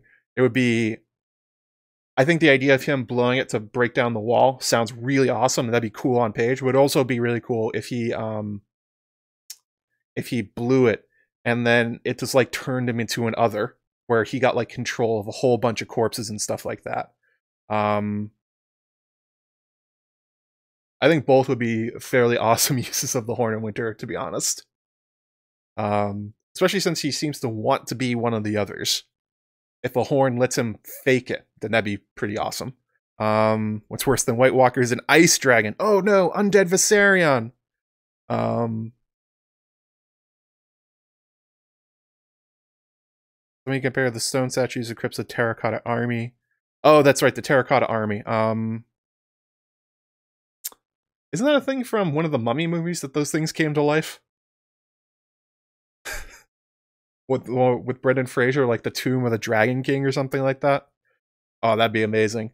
Um,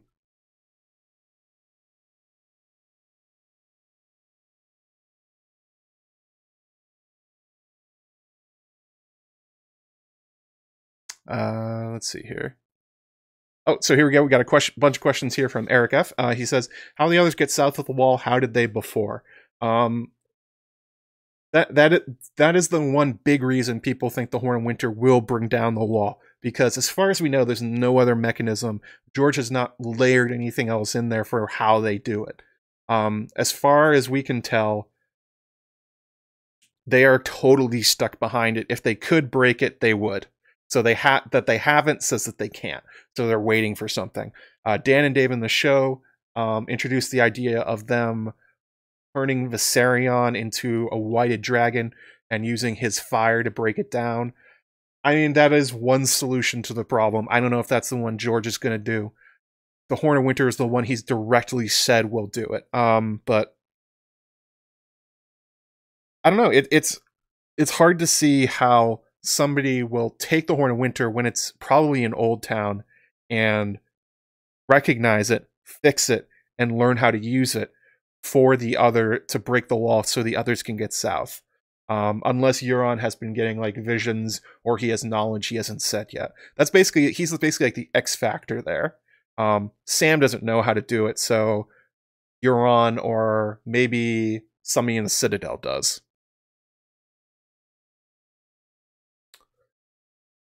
The third Mummy film. Oh my god, yeah, there's three of those things, and then they did a reboot. I think. Oh, first one was the best. Love the first Mummy. Um,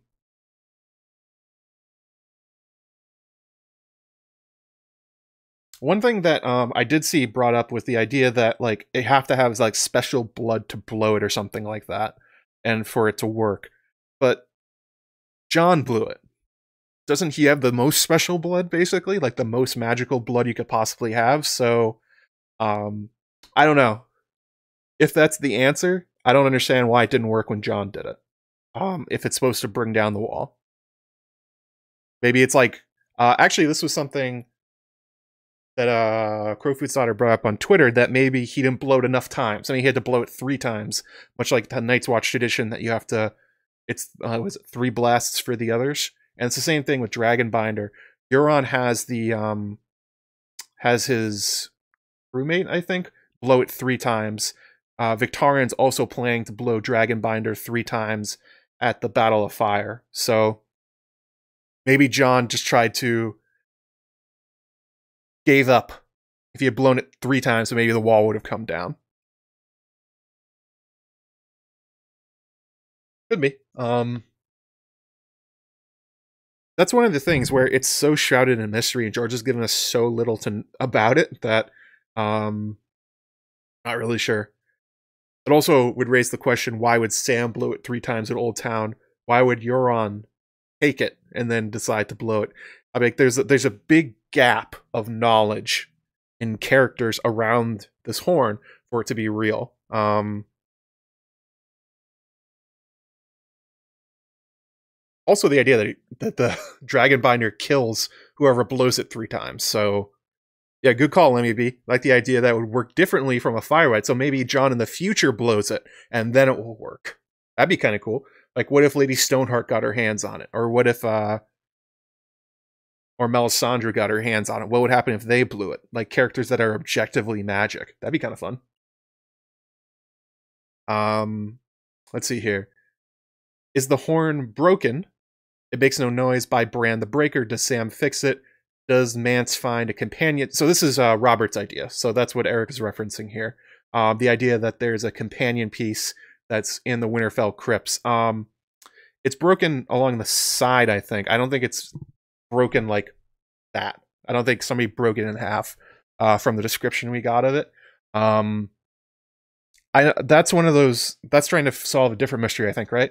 That's trying to solve why Mance wants to go down to the crypts so much. Um, he keeps asking Theon about it when he's at Winterfell. Um, I, I guess so. I mean, if there's actually half a horn down there, then that would make sense. He'd be trying to find it, but he doesn't have the other one either, so I don't really know how it helps him. You know, like he's not aware that Samwell has the other half of the horn in winter. So what does it get him? And they're on the other side of the wall already anyway. Like that's part of the thing. Jon let them through. So why would he need it anymore? Uh, Adrian Burchell, why would Blitter even want the wall brought down? Exactly. Adrian, why? Why would he want this? Unless this is some kind of like long-term Children of the Forest plan where it's like he's trying to destroy the realms of men so that Bran will become king afterwards. Um, that'd be pretty grim even for Bloodraven. Uh, if he was willing to sacrifice presumably hundreds of thousands of people for the Weirwood King to rise in the end. But you never know. Um, If it doesn't take down the wall, is it a weather device that temporarily clears out the other's unbearable cold winds so humans can actually fight them? That's part of the thing I was talking about earlier, that maybe it like negates the other's powers. Like for instance, when you look at the creation of the others in the Children of the Forest, what is the other's biggest weakness? Obsidian. Obsidian kills him dead. Sam just like stabs him with one dagger and that other falls to pieces.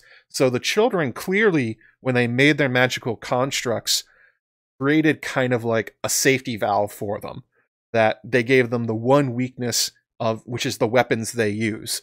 So maybe the Horn of Winter was intended as another failsafe device that like if you're being attacked and you're the children of the forest and you have this horn, you blow it and it stops them some way.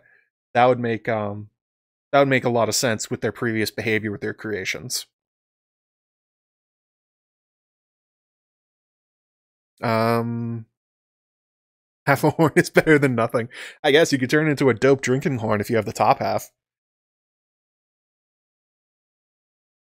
Uh, let's see here. Another one from Eric. He says, Do you think the fake horn that Stannis burned actually was capable of doing anything? Actually, yes. I think it probably was a magical horn, a real magical horn. It's just um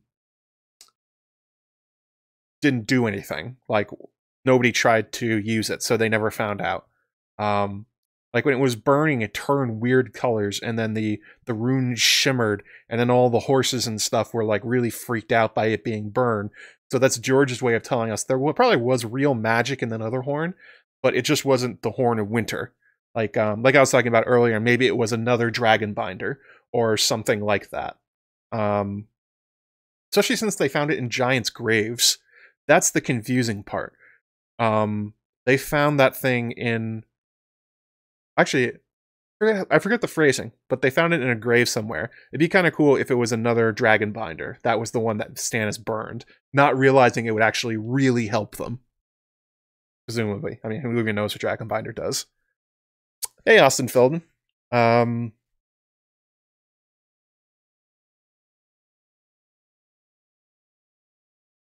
Uh, so another question here from Eric: Why must there always be a Stark in Winterfell? Is the reason connected to the Horn? I think, um, I don't think it's like a magical thing. I don't think the idea that there has to be a Stark in Winterfell means that like when they all leave, like something breaks in the world. I would guess that it's just a um.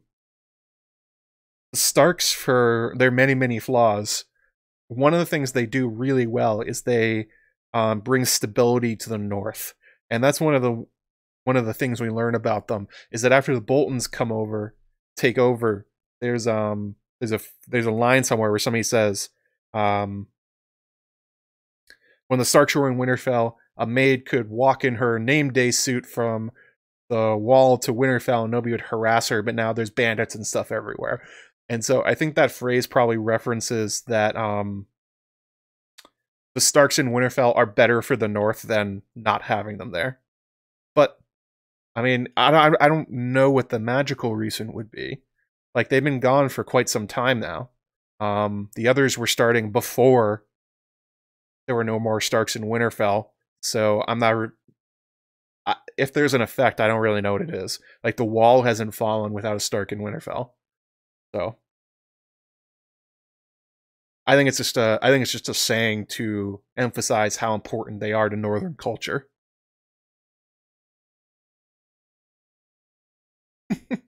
Stark flaws, what is this? Ah, uh, you have to read about the old Starks and all the terrible things they did and the many people they killed and captured and yeah, they were not good guys. They are now, where they're okay as far as feudal lords go. But anyway, um, another one from Eric. He said, "Did Benjen or Cold Hands bury the stash that Ghost uncovered? Is Benjen alive?" So those are the two real possibilities. One is it's Cold Hands, and one is it was it was uh, Benjen. So I if it's Benjen, so let's think this through. Let's say it's Benjen Stark, and he buried all that. Um, he buried all those daggers, those dra- dragon glass spears, the um, the arrowheads, and the horn. Right? Let's say he did that. Where did he get them? Because George has responded. There's a famous thing in the Dance with Dragons or Storm of Swords um,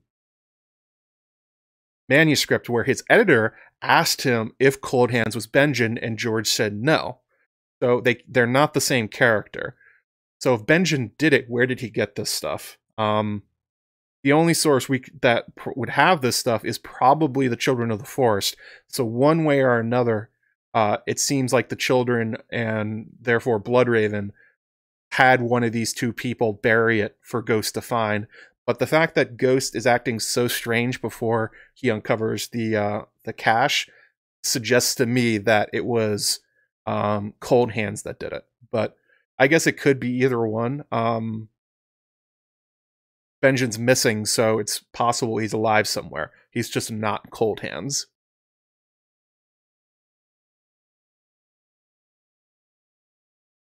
Doesn't mean he's not um, undead somewhere else, though. Maybe there's multiple Night's Watch Rangers running around under the command of Bloodraven. Um, I would guess though that Benjen's dead, that he's not coming back. Especially because, like, yeah, like, again, where would Benjen get this stuff? Why would he even know what it is? Like, Jon's totally unaware what the Horn of Winter is, so is Jeor Mormont. How would Benjen have learned about this stuff, known where to find it, and then buried it and then also alerted Ghost to where it was. Like I don't I don't really know that that whole situation makes less sense than just the last Green Seer doing it because obviously he would have the knowledge if it was real since he could see backwards in time. He would know where Jon was. He has control over animals, so it kind of they all fit together in a nice way. Um, if you successfully blow the horn, do you do your lungs turn to ash like Euron's minion? Is Jon able to evade that fact when he comes back to life? That was something I was talking about earlier. Um, maybe that's the reason that Tormund did not blow it when Stannis attacked, or um, Mance didn't, because it was right next to him when this. Like, if he thought it was a double cross, surely Mance would have blown the horn. If he didn't, it could be because um, either he knew it would kill him, or he knew it did nothing. Um, I'm guessing it was probably the that it knows that it doesn't do anything. But the fact that George has introduced this idea that if you blow a dragon binder three times and it kills you, it's very possible he replicates that behavior with the Horn of Winter.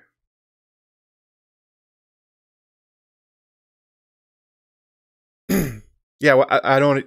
Good call, Daisy. I don't know why Benjen would be sneaky about it. Like, why not just come up to Jon and give it to him? Hey, it's me, Uncle Benjen. And he'd be like, Uncle Benjen? And then he would give him the horn and say, Here, I found this. Use this stuff. This is really important. Why don't you come back with me, Benjen? I've got other things I gotta do. And then rides off. Like, that's a really good scene, or really easy scene to write. Like, if it's him, I don't know. It doesn't make a lot of sense to me. But would Jon be able to evade that fate if he comes back from the dead? Very possibly. That maybe the missing element for Jon is that he's not undead yet um, and he needs to blow it three times or something like that. Like there's there's something missing. that's the overwhelming thing about the Horn of Winter. George is denying us information about what's happening with it and how to use it effectively. Um, uh, let me see if I got any other. Any got? If you guys have any last questions, uh, throw them in the chat. My voice is starting to go, so um, been talking for quite some time. So, oh, another one there.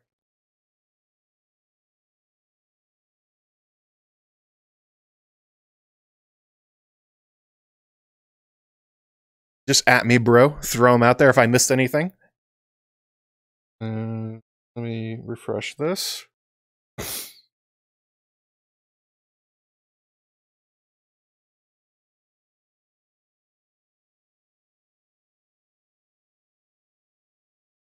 Oh, you guys, um, we hit 300, 200 likes. Uh, what can we do here? Oh, I know what I'll do. I'll, I'm gonna post the link to, um, Chrissy reading, uh, from the upcoming video. So let me just set this to public and I'll drop it in chat. There we go. So this is, uh, thank you for slamming 200 likes. Uh, if you want to listen to a preview from the upcoming video, just follow that link and there's a 30 second clip. All right, so let's see here. Uh, Dornish Dame, do you think the wall comes down in late wins a winner or early a dream of spring? Late wins a winner. Um, he's set up essentially from what we know about the chapters have been released that early on in the book is going to hit a high point with the battles of ice and fire and then it's going to go down to a lull as we go to the um the down the consequences of those and then i would guess that he he loves ending the books on a high point like some big thing. So i would guess the wall coming down is how the winds of winter ends and we go into a dream of spring dealing with that. You guys should all be able to click that link i think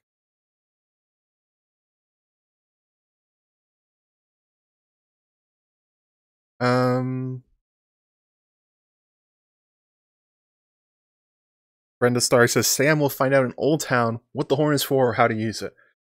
I suppose. I mean, if there's any place that has that knowledge that wasn't Castle Black, then I guess it would be the Citadel. But Aemon, who supposedly read every book at the Castle Black, when questions about the Horn of Winter, essentially said like, "I don't even think it's real." So I'm not sure what book would be at the Citadel that wouldn't be up at Castle Black that would know about it since it's such deep northern lore. Um, but I mean, you make a place that has all the human knowledge of the world and experts on everything, then it's certainly possible that um that somewhere in those books is something about the horn and how to use it. Like I wonder if they'll do a thing like they did in the show. You're like, remember that where they had the picture of Arya's dagger and then didn't explain it? Maybe Sam will just be leafing through and be like, is the horn.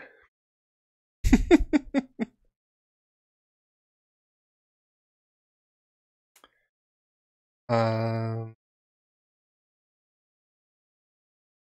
I don't think Benjen's gonna show up with a flaming chain and spinning it around, being like, "Jon, I'm here to save you." I would be shocked. Um, who might be able to read the runes? I would guess that would be the Archmaester of. There's an Archmaester of History, I think. So maybe someone like that would be able to read the runes on it. Um, Matt, say something about cloaks of the Watchmen nobles and peasants.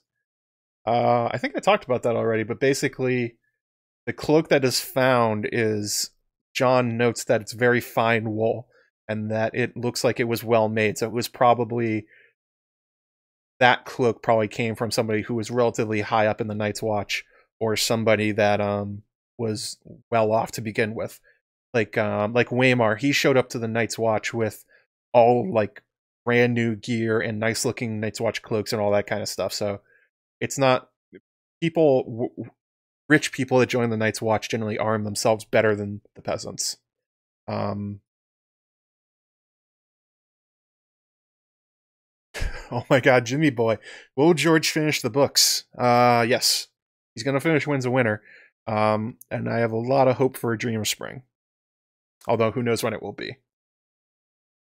The thing about George's writing style that you have to keep in mind is that he tends to write in what is known, well, I don't think it's known as this, but he essentially writes um, in streaks where when he starts, when he gets into a groove with something, he churns out thousands of words, tens of thousands of words, thousands of pages all at once. Like the first three books were written within like four years. And when he was writing The World of Ice and Fire, the same thing happened. If you go back and listen to um, Elio and Linda of Westeros.org talk about it, they essentially, The World of Ice and Fire is supposed to be like a quarter the size it is. But George, prompted about this history, just kept writing about it. And he, he gave them something like 80,000 words when they wanted 20,000. So, um, if he's on a roll at the Winds of Winter, then the A Dream of Spring could be relatively quickly afterwards. Yeah, he binge writes. That's essentially that's more or less how he does it. When he feels inspiration, he just fires off pages like you've never seen. He's very unlike um, uh, people love comparing to Brandon Sanderson, but they're very different writers. Um, also, Stephen King. There's a really good interview about Stephen King and um, George R. R. Martin, where King essentially contrasts his own style, where he says, like, well, I don't write like that, George. I write a set amount every day, and good or bad, I churn it out. So I would guess um, that informs the winds of winter and dream of spring more than like people love sort of like tracking on a graph how fast George writes, but that doesn't work. He doesn't work at a consistent rate. Uh oh, one last uh, super chat here, or hopefully not one last, but we're probably going to be stopping soon. Uh, oh my God, Jimmy Boy, ten dollars. Thank you so much. Uh, do you think George should have gone along with the five year gap?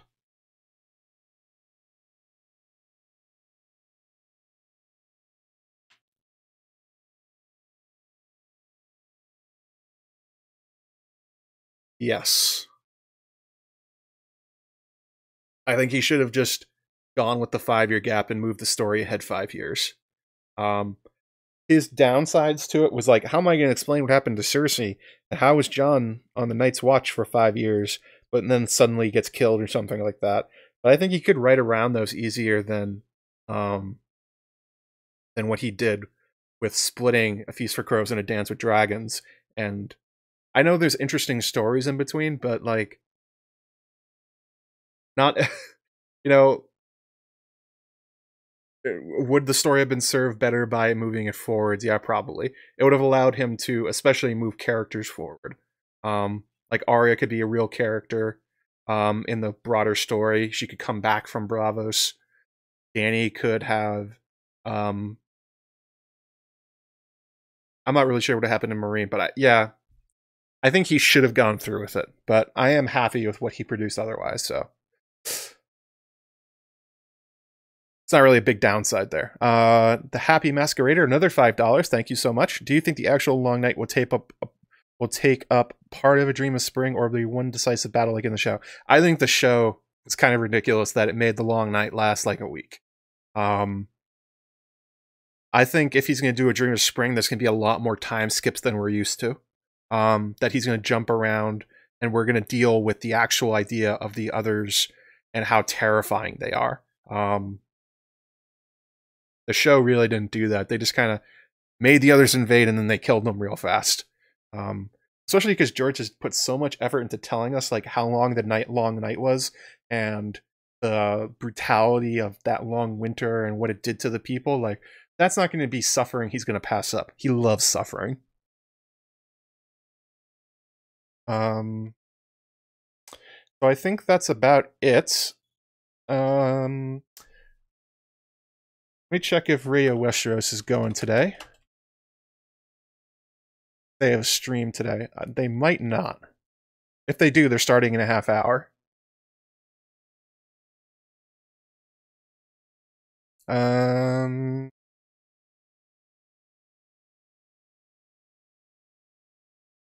Anybody know if Lady Gwyn and uh, Yolkboy are streaming today?